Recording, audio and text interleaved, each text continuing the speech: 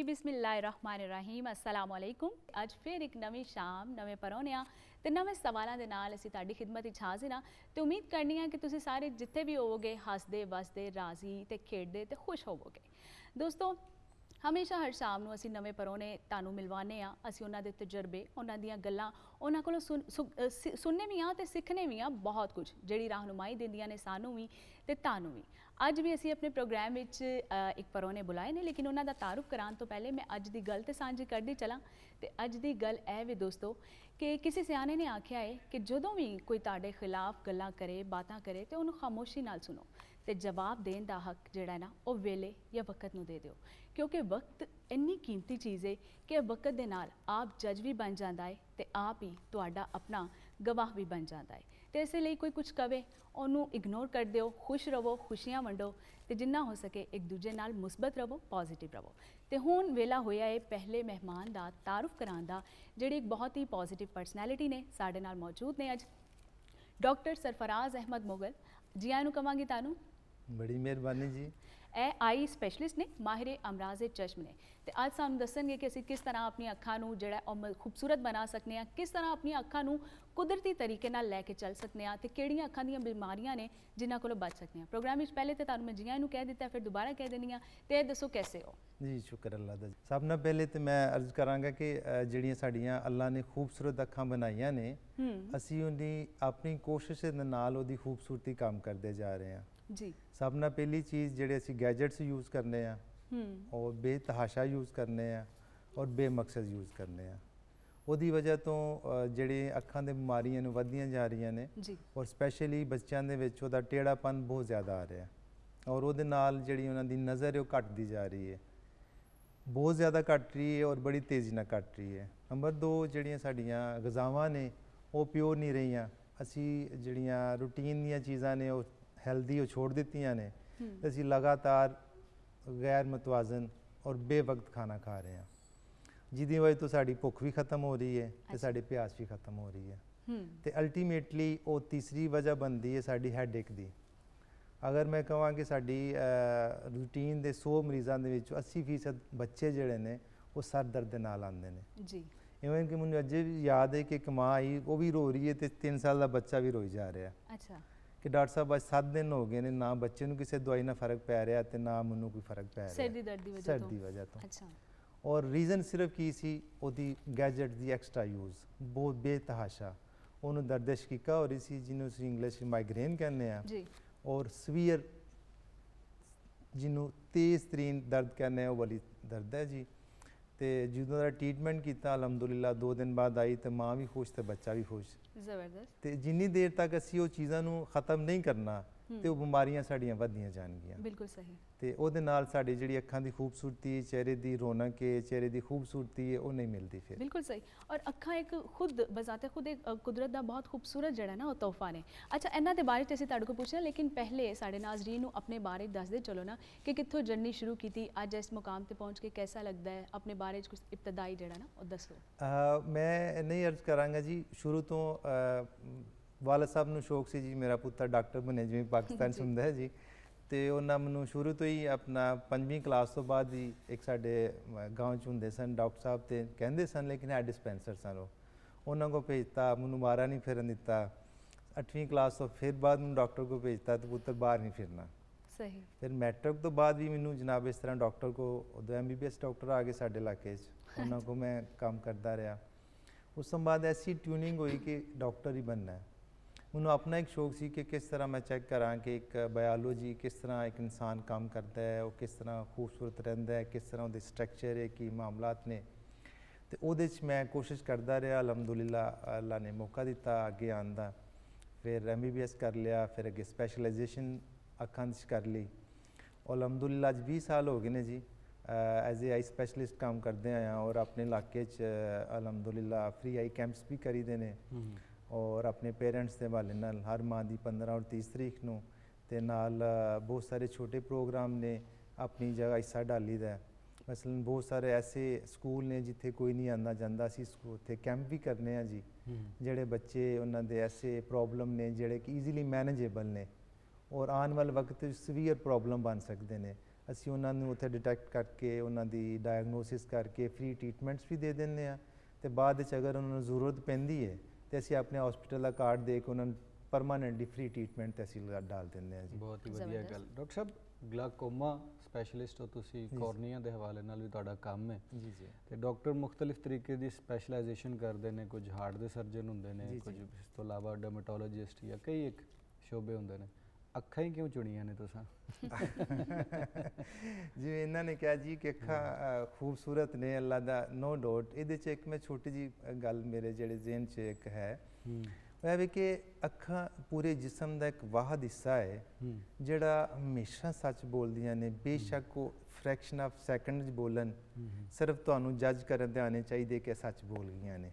ਬਾਕੀ ਕੋਈ ਐਸਾ ਜ਼ਾ ਨਹੀਂ ਜਿਹੜਾ ਸੱਚ ਬੋਲਦਾ ਹੋਵੇ। ਯਾਨੀ ਫਿਲੋਸੋਫੀਕਲ ਹੋ ਕੇ ਤੁਸੀਂ ਸੋਚਿਆ Yes. ਇਹ ਅੱਖਾਂ ਜਿਹੜੀਆਂ ਨੇ ਉਹਨਾਂ ਦਾ ਟ੍ਰੀਟਮੈਂਟ ਕਰਨਾ ਚਾਹੀਦਾ ਬਜਾਏ ਇਸ ਦੇ ਕਿ ਕਿਸੇ ਹੋਰ ਚੀਜ਼ ਦੀ ਜੀ। ਬਿਲਕੁਲ ਇਹ ਮੈਂ ਬਾਈ ਚਾਂਸ ਸੀ ਬਿਲਕੁਲ ਅੱਛਾ ਸਰ ਇਹ ਬੜਾ ਵਾਈਟਲ ਆਰਗਨ ਹੈ ਔਰ ਸੈਂਸਿਟਿਵ ਵੀ ਹੈ ਵੇ। ਔਰ ਇਹਦੇ ਨਾਲ ਜ਼ਾਹਿਰ ਤੁਸੀਂ ਫਲਸਫਾ ਤੇ ਜੋੜਿਆ ਇਹਦੇ ਨਾਲ ਮੁਹੱਬਤ ਵੀ ਜੁੜੀ ਹੈ ਕਿਤੇ ਨਾ ਕਿਤੇ ਅੱਖਾਂ। ਚਾਰ ਹੁੰਦੀਆਂ ਨੇ ਤੇ ਮੁਸੀਬਤ ਪੈ ਜਾਂਦੀ ਹੈ ਲੋਕਾਂ ਨੂੰ। ਉਹ ਇੱਕ ਲਹਿਦਾ ਗੱਲ ਹੈ ਲੇਕਿਨ ਅਸੀਂ ਥੋੜਾ ਮੈਡੀਕਲ ਹੀ ਰਹਾਂਗੇ ਅੱਛਾ ਅੱਖਾਂ ਦੇ ਵਿੱਚ ਵੇਖੀਏ ਗਰਮੀ ਦੇ ਵਿੱਚ ਨਾ ਬੜੀਆਂ ਪ੍ਰੋਬਲਮਸ ਆਉਂਦੀਆਂ ਨੇ ਕਈ ਤਰ੍ਹਾਂ ਦੀਆਂ ਬਿਮਾਰੀਆਂ ਜਿਹੜੀਆਂ ਸਪੈਸੀਫਿਕਲੀ ਇਸ ਮੌਸਮ ਦੇ ਵਿੱਚ ਆਉਂਦੀਆਂ ਨੇ। ਜਿਹਦੇ ਵਿੱਚ ਸਭ ਤੋਂ ਪਹਿਲਾਂ ਇਹ ਵੇ ਕਿ ਅੱਖ ਦਾ ਜਿਹੜਾ ਪਾਣੀ ਹੈ ਉਹਦੀ ਨਮੀ ਹੈ ਉਹਦਾ ਖੁਸ਼ਕ ਹੋ ਜਾਣਾ ਹੁੰਦਾ।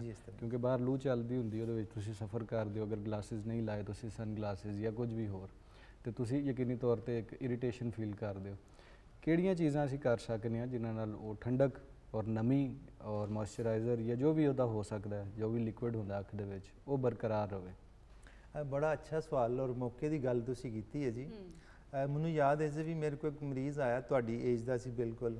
ਕਿ ਰੈਡਨੈਸ ਸੇ ਅੱਖਾਂ ਪਲਕਾਂ ਸੁੱਜੀਆਂ ਹੋਈਆਂ ਨੇ ਡਾਕਟਰ ਸਾਹਿਬ ਪਾਣੀ ਵਗਦਾ ਰਹਿੰਦਾ ਮੈਂ ਬੜਾ ਪਰੇਸ਼ਾਨ ਹਾਂ ਕੋਈ ਡਾਕਟਰ ਨਹੀਂ ਛੋੜਿਆ। ਮੈਂ ਇਹਨੂੰ ਇੱਕ ਗੱਲ ਕੀ ਯਾਰ ਤੂੰ ਕੱਲ ਤੋਂ ਬਾਈਕ ਨਹੀਂ ਚਲਾਣੀ ਅੱਛਾ। ਮੈਨੂੰ ਕਹਿੰਦੀ ਤੁਹਾਨੂੰ ਕਿਵੇਂ ਪਤਾ ਲੱਗਿਆ ਮੈਂ ਬਾਈਕ ਚਲਾਉਣਾ ਮੈਂ ਕਿਹਾ ਯਾਰ ਤੇਰੀਆਂ ਅੱਖਾਂ ਦੱਸਦੀਆਂ ਨੇ ਪਈਆਂ ਕਿ ਤੂੰ 60 70 ਦੀ ਸਪੀਡ ਤੋਂ ਘੱਟ ਨਹੀਂ ਚਲਾਉਂਦਾ। ਕਹਿੰਦੇ ਸਰ ਇੰਜ ਹੀ ਗੱਲ ਹੈ ਮੈਂ ਕੱਲ ਤੋਂ ਤੂੰ 20 ਦੀ ਸਪੀਡ ਤੋਂ ਜ਼ਿਆਦਾ ਨਹੀਂ ਚਲਾਣੀ ਔਰ ਨਾਲ ਹੈ ਐਨਕ ਦੀ ਬਜਾਏ ਹੈਲਮਟ ਯੂਜ਼ ਕਰਨਾ ਹੈ। ਰੀਜ਼ਨ ਕੀ ਹੈ ਕਿ ਜਿਹੜੀ ਇਸ ਟਾਈਮ ਲੋ ਹੈ ਨੰਬਰ 1 ਗਰਮੀ। ਗਰਮ। ਨੰਬਰ 2 ਜਿਹੜੀ ਇਟਸੈਲਫ ਮਕੈਨੀਕਲ ਇਫੈਕਟ ਆਂਦਾ ਜਦੋਂ ਸਾਹਮਣੇ ਤੁਹਾਨੂੰ ਤੇਜ਼ ਹਵਾ ਪਏਗੀ ਉਹ ਸਾਡੇ ਸਾਹਮਣੇ ਜਿਹੜਾ ਐਕਸਪੋਜ਼ ਹਿੱਸਾ ਹੈ ਕੋਰਨੀਆ ਔਰ ਕੰਜਕਟਿਵਾ। ਵਾਈਟ ਜਿੱਲੀ ਉਹਦੇ ਉੱਪਰ ਇਫੈਕਟ ਕਰੇਗੀ ਉਹ ਟਰਾਮਾ ਵੀ ਕਰੇਗੀ ਮਾਈਕਰੋ ਟਰਾਮਾ ਹੋਏਗਾ ਉੱਤੇ ਇਰੀਟੇਸ਼ਨ ਹੋਏਗੀ ਬਾਰ-ਬਾਰ ਰੈਡਨੈਸ ਹੋਏਗੀ ਔਰ ਉਹਨੂੰ ਵਾਟਰਿੰਗ ਹੁੰਦੀ ਰਹੇਗੀ ਇਰੀਟੇਸ਼ਨ ਖਤਮ ਨਹੀਂ ਹੋਏਗੀ। ਜਿੰਨੀ ਦੇਰ ਤੱਕ ਤੁਸੀਂ ਆਪਣੀ ਬਾਈਕ ਦੀ ਸਪੀਡ ਨਹੀਂ ਘਟਾਣੀ ਕੋਸ਼ਿਸ਼ ਕਰੋ 30 40 ਦੀ ਰੇਂਜ ਵਿੱਚ ਇੱਕ ਤੇ ਐਕਸੀਡੈਂਟ ਤੋਂ ਬਚੋਗੇ। ਦੂਸਰਾ ਅੱਖਾਂ ਵੀ ਸਲਾਮਤ ਰਹਿਣਗੀਆਂ। ਉਹ ਤੀਸਰਾ ਤੁਹਾਡੀ ਸੇਫਟੀ ਵੀ ਰਹੇਗੀ। ਔਰ ਇਹਦੇ ਨਾਲ ਤੁਸੀਂ ਜਦੋਂ ਵੀ ਮੌਕਾ ਮਿਲੇ ਤਾਜ਼ੇ ਪਾਣੀ ਦੇ ਨਾਲ ਰਾਮ ਰਾਮ ਨਾਲ ਅੱਖਾਂ ਧੋਣੀਆਂ ਨੇ ਜ਼ੋਰ ਦੀ ਛਿੱਟੇ ਨਹੀਂ ਲਾਣੇ ਤਾਂ ਕਿ ਉਹ ਵੀ ਮਕੈਨੀਕਲ ਇਫੈਕਟ ਨਾ ਟਰਾਮਾ ਨਾ ਆਵੇ। ਔਰ ਉਹਦੇ ਨਾਲ ਜਿਹੜੇ ਅੱਛੇ ਜਿਹੇ ਲੂਬਰੀਕੈਂਟਸ ਨੇ ਉਹ ਜ਼ਰੂਰ ਯੂਜ਼ ਕਰੋ। ਅੱਛਾ। ਇਹ ਮੇਨ ਚੀਜ਼ਾਂ ਨੇ ਉਹਦੇ ਯਾਨੀ ਕੋਈ ਡ੍ਰੌਪਸ ਵਗੈਰਾ ਅਵੇਲੇਬਲ ਨੇ ਜਿਹੜੇ ਜੀ ਆਮ ਰਾਮ ਸਾਨੀ ਨਾਲ ਮਿਲ ਜਾਂਦੇ ਨੇ 60 70 ਰੁਪਏ ਦੇ 100 ਜਾਂ ਕੁਝ ਦੋਸਤ ਤਰਕੇ ਗੁਲਾਬ ਵਗੈਰਾ ਵੀ ਇਸਤੇਮਾਲ ਨਹੀਂ ਉਹ ਨਹੀਂ ਕਰਨਾ। ਅਰਕੇ ਗੁਲਾਬ ਵਿੱਚ ਨਾ ਮਾਈਲਡ ਸਟੀਰਾਇਡ ਹੈ। ਅੱਛਾ। ਸਾਡੇ ਕੋਲ ਬਹੁਤ ਸਾਰੇ ਐਸੇ ਕੇਸਿਸ ਆਉਂਦੇ ਨੇ ਜਿਹਨੂੰ ਅਸੀਂ ਸਟੀਰਾਇਡ ਇੰਡਿਊਸ ਗਲਾਕੋਮਾ ਕਹਿੰਦੇ ਆ ਠੀਕ ਹੈ। ਯਾਨੀ ਜਦੋਂ ਅਸੀਂ ਸਟੀਰਾਇਡ ਦਵਾਈ ਇੱਕ ਜਦੋਂ ਅਸੀਂ ਅੱਖ 'ਚ ਡਾਲਨੇ ਆ ਕੁਝ ਲੋਕ ਐਸੇ ਨੇ ਜਿਹਦੇ 'ਚ ਅੱਖ ਦਾ ਪ੍ਰੈਸ਼ਰ ਵੱਧ ਜਾਂਦਾ ਹੈ, ਜਿਹਨੂੰ ਅਸੀਂ ਕਾਲਾ ਮੋਤੀ ਜਾਂਦੇ ਆ ਠੀਕ ਹੈ।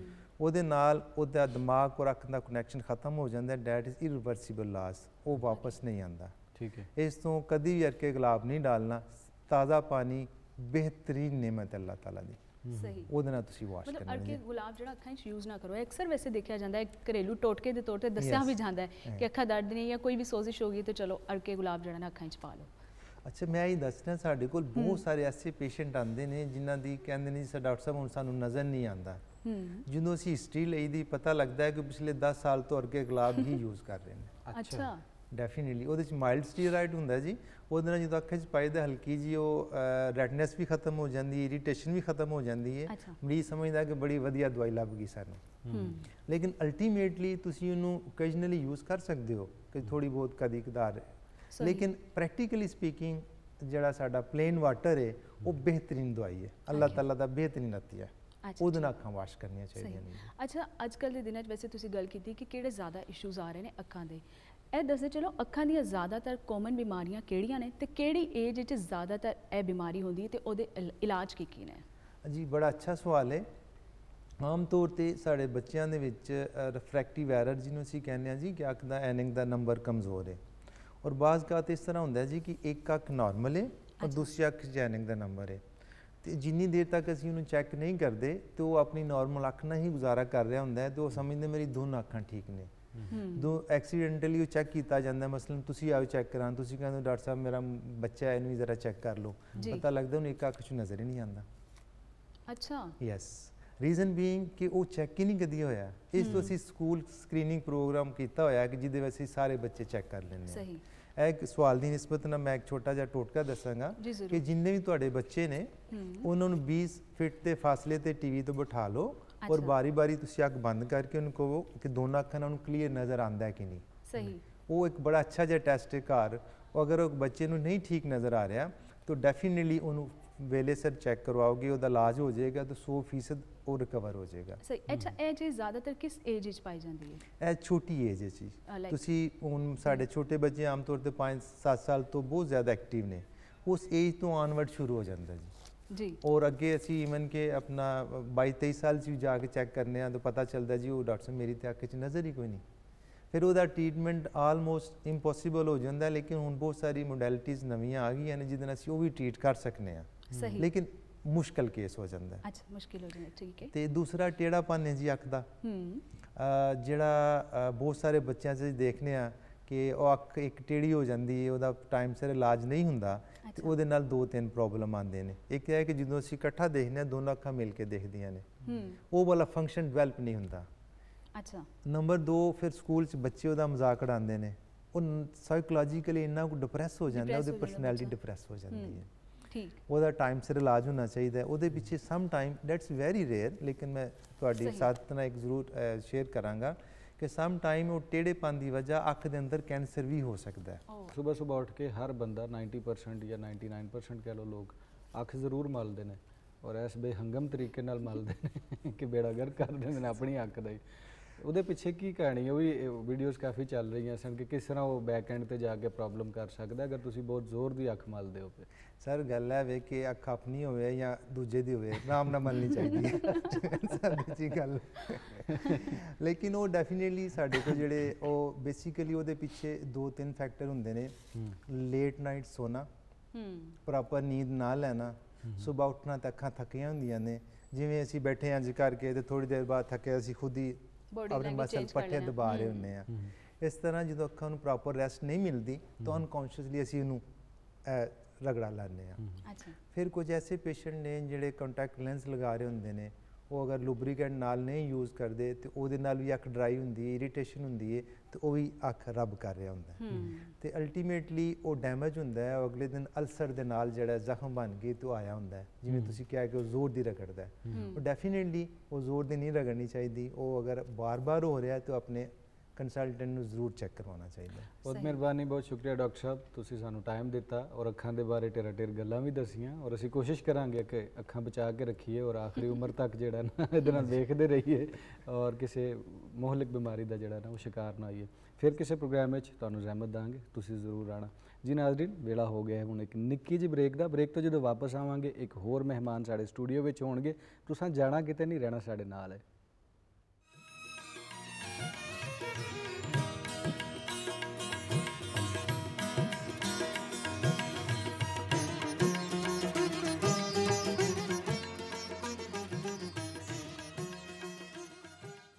ਜੀ ਮੁੜ ਕੇ ਵਾਪਸ ਆ ਗਏ ਹਾਂ ਪਾਕਿਸਤਾਨ ਟੈਲੀਵਿਜ਼ਨ ਲਾਹੌਰ ਸੈਂਟਰ ਤੋਂ ਮੇਰਾ ਨਾਮ ਹੈ ਅਲੀ ਉਸਮਾਨ ਬਾਜਵਾ ਸੋਨੀਆ ਸ਼ੇਖ ਮੇਰੇ ਨਾਲ ਮੌਜੂਦ ਨੇ ਔਰ ਪ੍ਰੋਗਰਾਮ ਤੇ ਅ, ਜਾਰੀ ਉਹ ਸਾਰੀ ਹੈ ਬ੍ਰੇਕ ਤੇ ਜਾਣ ਤੋਂ ਪਹਿਲੇ ਸਾਡੇ ਨਾਲ ਇੱਕ ਆਈ ਸਪੈਸ਼ਲਿਸਟ ਮੌਜੂਦ ਸਨ ਡਾਕਟਰ ਸਰਫਰਾਜ਼ ਅਹਿਮਦ ਮੁਗਲ ਸਾਹਿਬ ਟੇਰਾ ਟੇਰ ਗੱਲਾਂ ਤੁਸੀਂ ਵੀ ਸਿੱਖੀਆਂ ਹੋਣੀਆਂ ਨੇ ਅਸਾਂ ਵੀ ਬੜੀਆਂ ਸਿੱਖੀਆਂ ਨੇ ਇਸ ਵਕਤ ਸਾਡੇ ਸਟੂਡੀਓ ਦੇ ਵਿੱਚ ਇੱਕ ਬੜੇ ਸੋਹਣੇ ਸੁਨੱਖੇ ਅਦਾਕਾਰ ਮੌਜੂਦ ਹੈਗੇ ਨੇ ਜੀ ਹਾਂ ਔਰ ਜੇ ਤੁਸੀਂ ਤਾਨੇ ਬਾਨੇ ਸੂਰਜ ਕੇ ਸਾਥ ਸਾਥ ਸੀਧਾ ਟੱਲੀ ਵਰਗੇ ਡਰਾਮੇ ਵੇਖੇ ਨੇ ਤੇ ਤੁਸੀਂ ਯਕੀਨੀ ਤੌਰ ਤੇ ਇਹਨਾਂ ਦਾ ਨਾਂ ਔਰ ਉਹਨਾਂ ਦੀ ਸ਼ਕਲ ਘਟੋ ਘਟ ਜ਼ਰੂਰ ਪਹਿਚਾਣਦੇ ਹੋਵੋਗੇ। ਜਮਸ਼ੀਦ ਅਸਲਮ ਫਲਵਾਰ ਸਾਹਿਬ ਸਾਡੇ ਨਾਲ ਮੌਜੂਦ ਨੇ। ਅਸਲਾਮ ਅਲੈਕਮ ਜੀ। ਜੀ ਵਾਲੇਕਮ ਸਲਾਮ ਜੀ। ਕੈਸੀ ਤਬੀਅਤ ਹੈ ਤੁਹਾਡੀ?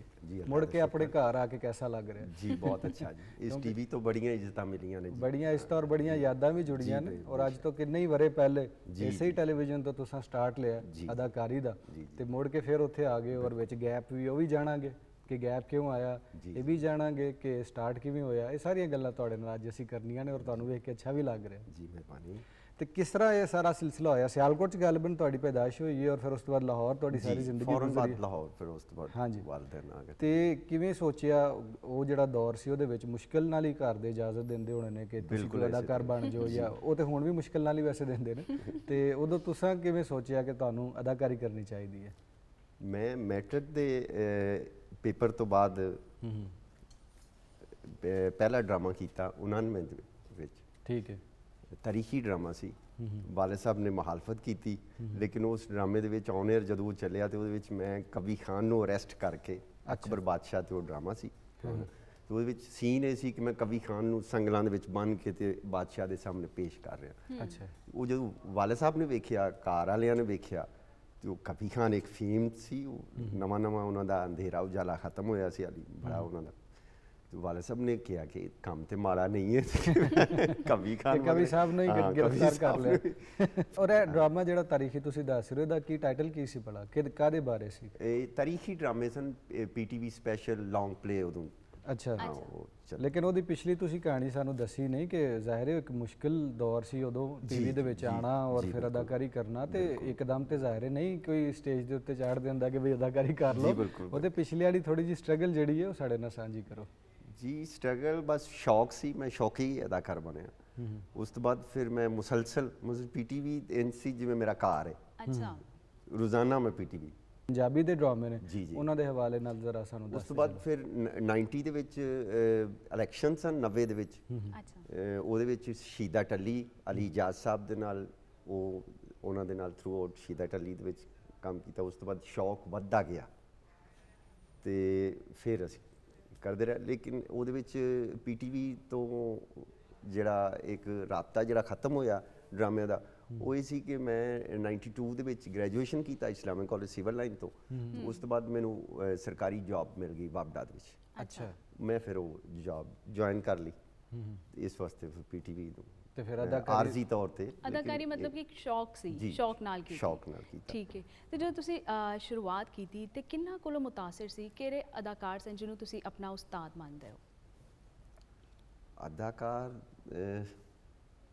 ਫਿਰਦੌਸ ਜਮਾਲ। ਅੱਛਾ। ਸਨ ਉਦੋਂ ਕਵੀ ਖਾਨ ਅੰਧੇਰਾ ਉਜਾਲਾ ਬਹੁਤ ਅਰੂਜ ਤੇ ਸੀ। ਮਤਲਬ ਇਹ ਉਹ ਦੌਰ ਸੀ ਜਦੋਂ ਪੀਟੀਵੀ ਬਹੁਤ ਅਰੂਜ ਤੇ ਸੀ। ਉਹ ਤੇ। ਕੋਈ ਚੈਨਲ ਹੈ ਨਹੀਂ ਸੀ ਇਹ ਤੇ ਪਿਛਲੀ ਸਦੀ ਦੀ ਗੱਲ ਹੈ ਨਾ ਜੀ। ਇਸ ਸਦੀ 'ਚ ਤੇ ਦੁਨੀਆ ਡਿਜੀਟਲ 'ਚ ਆ ਗਈ ਨਾ। ਤੇ ਉਹ ਬੜੇ ਅੱਛੇ ਪੀਟੀਵੀ ਦੇ ਮਾਸ਼ਾਅੱਲਾ ਬੜੀਆਂ ਰੌਣਕਾਂ ਹੁੰਦੀਆਂ ਸਨ ਪੀਟੀਵੀ ਦੇ ਵਿੱਚ। ਔਰ ਬੜਾ ਮਾਸ਼ਾਅੱਲਾ ਇੱਥੇ ਦਿਲ ਲੱਗਦਾ ਸੀ ਅਹ, ਘਰ ਜਾਣ ਨੂੰ ਦਿਲ ਹੀ ਨਹੀਂ ਸੀ ਕਰਦਾ। ਅੱਛਾ ਹਾਂਜੀ। ਚਲੋ ਵਧੀਆ ਹੋ ਗਿਆ। ਅੱਛਾ ਜਿਹੜਾ ਤੁਸੀਂ ਦੱਸਿਆ ਕਿ ਸ਼ੌਕ ਸੀ ਔਰ ਮੁੜ ਕੇ ਫਿਰ ਤੁਹਾਨੂੰ ਜੌਬ ਮਿਲ ਗਈ ਵਾਪਡਾ ਜੀ ਤੇ ਤੁਸੀਂ ਕਿਹਾ ਕਿ ਅੱਲਾ ਹਾਫਿਜ਼ ਫਿਰ ਅਦਾਕਾਰੀ ਨੂੰ ਕਰ ਦਿੰਦੇ ਆ ਤੇ ਨਿਕਲ ਜਾਂਦੇ ਆ। ਲੇਕਿਨ ਉਹ ਜਿਹੜਾ ਪਹਿਲੀ ਦਫਾ ਕੈਮਰਾ ਫੇਸ ਕਰਨਾ ਹੁੰਦਾ ਹੈ ਜਾਂ ਅਦਾਕਾਰੀ ਕਰਨਾ ਹੁੰਦਾ ਹੈ ਜੀ, ਉਹ ਯਕੀਨੀ ਤੌਰ ਤੇ ਕੋਈ ਵੀ ਕੰਮ ਤੁਸੀਂ ਦ- ਪਹਿਲੀ ਦਫਾ ਕਰਦੇ ਹੋ ਥੋੜਾ ਮੁਸ਼ਕਿਲ ਲੱਗਦਾ ਹੈ। ਬਿਲਕੁਲ ਜਾਂ ਇੱਕ ਖਾਸ ਕਿਸਮ ਦੀ ਕਨਫਿਊਜ਼ਨ ਘਬਰਾਹਟ ਜਾਂ ਕੁਝ ਕੋਈ ਲੱਤਾਂ ਛੱਤਾਂ ਕੰਬੀਆਂ ਕੀ ਹੋਇਆ ਐਸਾ ਹੀ ਐਸਾ ਕੰਬਰਲੀ ਸ਼ਾਹ ਸਾਹਿਬ ਦਾ ਇੱਕ ਡਰਾਮਾ ਸੀ ਅੱਜ ਦੀ ਕਹਾਣੀ ਪੰਜਾਬੀ। ਅੱਛਾ। ਉਹਦੇ ਵਿੱਚ ਪਹਿਲੀ ਵਾਰੀ ਮੈਨੂੰ ਕੋ ਤਿੰਨ ਕੁ ਲਾਈਨਾਂ ਸਨ। ਉਹਦੇ ਵਿੱਚ ਮੈਂ ਬਿਲਕੁਲ ਪਸੀਨਾ ਸਿਰ ਤੋਂ ਲੈ ਕੇ ਪੈਰ ਤੱਕ ਅੱਛਾ। ਪਸੀਨਾ ਔਰ ਬੜਾ ਉਹ ਪ੍ਰੈਸ਼ਰ ਸੀ। ਕੈਮਰਿਆਂ ਦਾ ਇਹ ਉਹ ਸਾਰਾ ਇੱਕ ਹੁੰਦਾ ਹੈ ਨਾ। ਉਹ ਉਹ ਹੈ ਫੀਲਿੰਗ ਸੀ। ਉਹ ਹੈ ਹਾਂ, ਅੱਛਾ। ਹਾਂਜੀ। ਕੋਈ ਐਸਾ ਕਿਰਦਾਰ ਜਿਹੜਾ ਦਿਲ ਕਰਦਾ ਹੈ ਕਿ ਮੈਂ ਇਹ ਕਰਨਾ ਹੈ ਜਾਂ ਕੋਈ ਐਸੀ ਐਕਟਰੈਸ ਕਿ ਮੈਂ ਸ਼ੌਕ ਹੋਵੇ ਕਿ ਮੈਂ ਇਹਦੇ ਨਾਲ ਕੰਮ ਕਰਨਾ ਹੈ? ਹਰ ਐਕਟਰ ਦੀ ਕੋਸ਼ਿਸ਼ ਹੁੰਦੀ ਕਿ ਉਹਨੂੰ ਅੱਛੇ ਤੋਂ ਅੱਛਾ ਕਿਰਦਾਰ ਮਿਲੇ। ਹੂੰ। ਹਾਂ, ਲੇਕਿਨ ਅਹ, ਜਿਹੜੀ ਮੇਰੀ ਇੱਕ ਪੁਲਿਸ ਅਫੀਸਰ ਦਾ ਜਿਹੜਾ ਮੇਰੀ ਖੁਆਇਸ਼ ਰਹੀ ਲੇਕਿਨ ਉਹ ਨਹੀਂ ਮੈਂ ਪੁਲਿਸ ਦੇ ਕੀਤੇ ਹੈ ਨੇ ਰੋਲ ਲੇਕਿਨ ਐਜ਼ ਅ ਕੋਈ ਐਡਾ ਕੰਟੀਨਿਊਟੀ ਵਾਲਾ ਰੋਲ ਜਿਹੜਾ ਨਾ ਅਹ, ਅੱਛਾ। ਉਹ ਮੇਰੀ ਖੁਆਇਸ਼ ਰਹੀ ਕਿ ਮੈਂ ਸਹੀ ਤੇ ਐਕਟਰੈਸ ਐਕਟਰਸ ਤੇ ਮੈਂ ਜ਼ਿਆਦਾਤਰ ਸ਼ਕੀਲਾ ਕ੍ਰੇਸ਼ੀ ਸਾਹਿਬਾ ਦੇ ਨਾਲ ਮੈਂ ਕਾਫੀ ਪਲੇ ਕੀਤੇ ਨੇ। ਬਹੁਤ ਮਿਹਰਬਾਨੀ ਜਮਸ਼ੇਦ ਸਾਹਿਬ ਤੁਸੀਂ ਆਏ ਫਿਰ ਕਿਸੇ ਪ੍ਰੋਗਰਾਮ ਵਿੱਚ ਔਰ ਫਿਰ ਟੈਲੀਵਿਜ਼ਨ 'ਚ ਡਰਾਮੇ 'ਚ ਤੁਹਾਨੂੰ ਵੇਖਾਂਗੇ ਬੜੀ ਮਿਹਰਬਾਨੀ ਬਹੁਤ ਸ਼ੁਕਰੀਆ। ਹੁਣ ਵੇਲਾ ਹੋ ਗਿਆ ਕਿ ਨਿੱਕੇ ਜਿਹੇ ਬ੍ਰੇਕ ਦਾ ਬ੍ਰੇਕ ਤੇ ਜਾਵਾਂਗੇ ਮੁੜ ਕੇ ਵਾਪਸ ਆਵਾਂਗੇ ਤੇ ਰਹਿਣਾ ਤੁਸੀਂ ਸਾਡੇ ਨਾਲ ਹੈ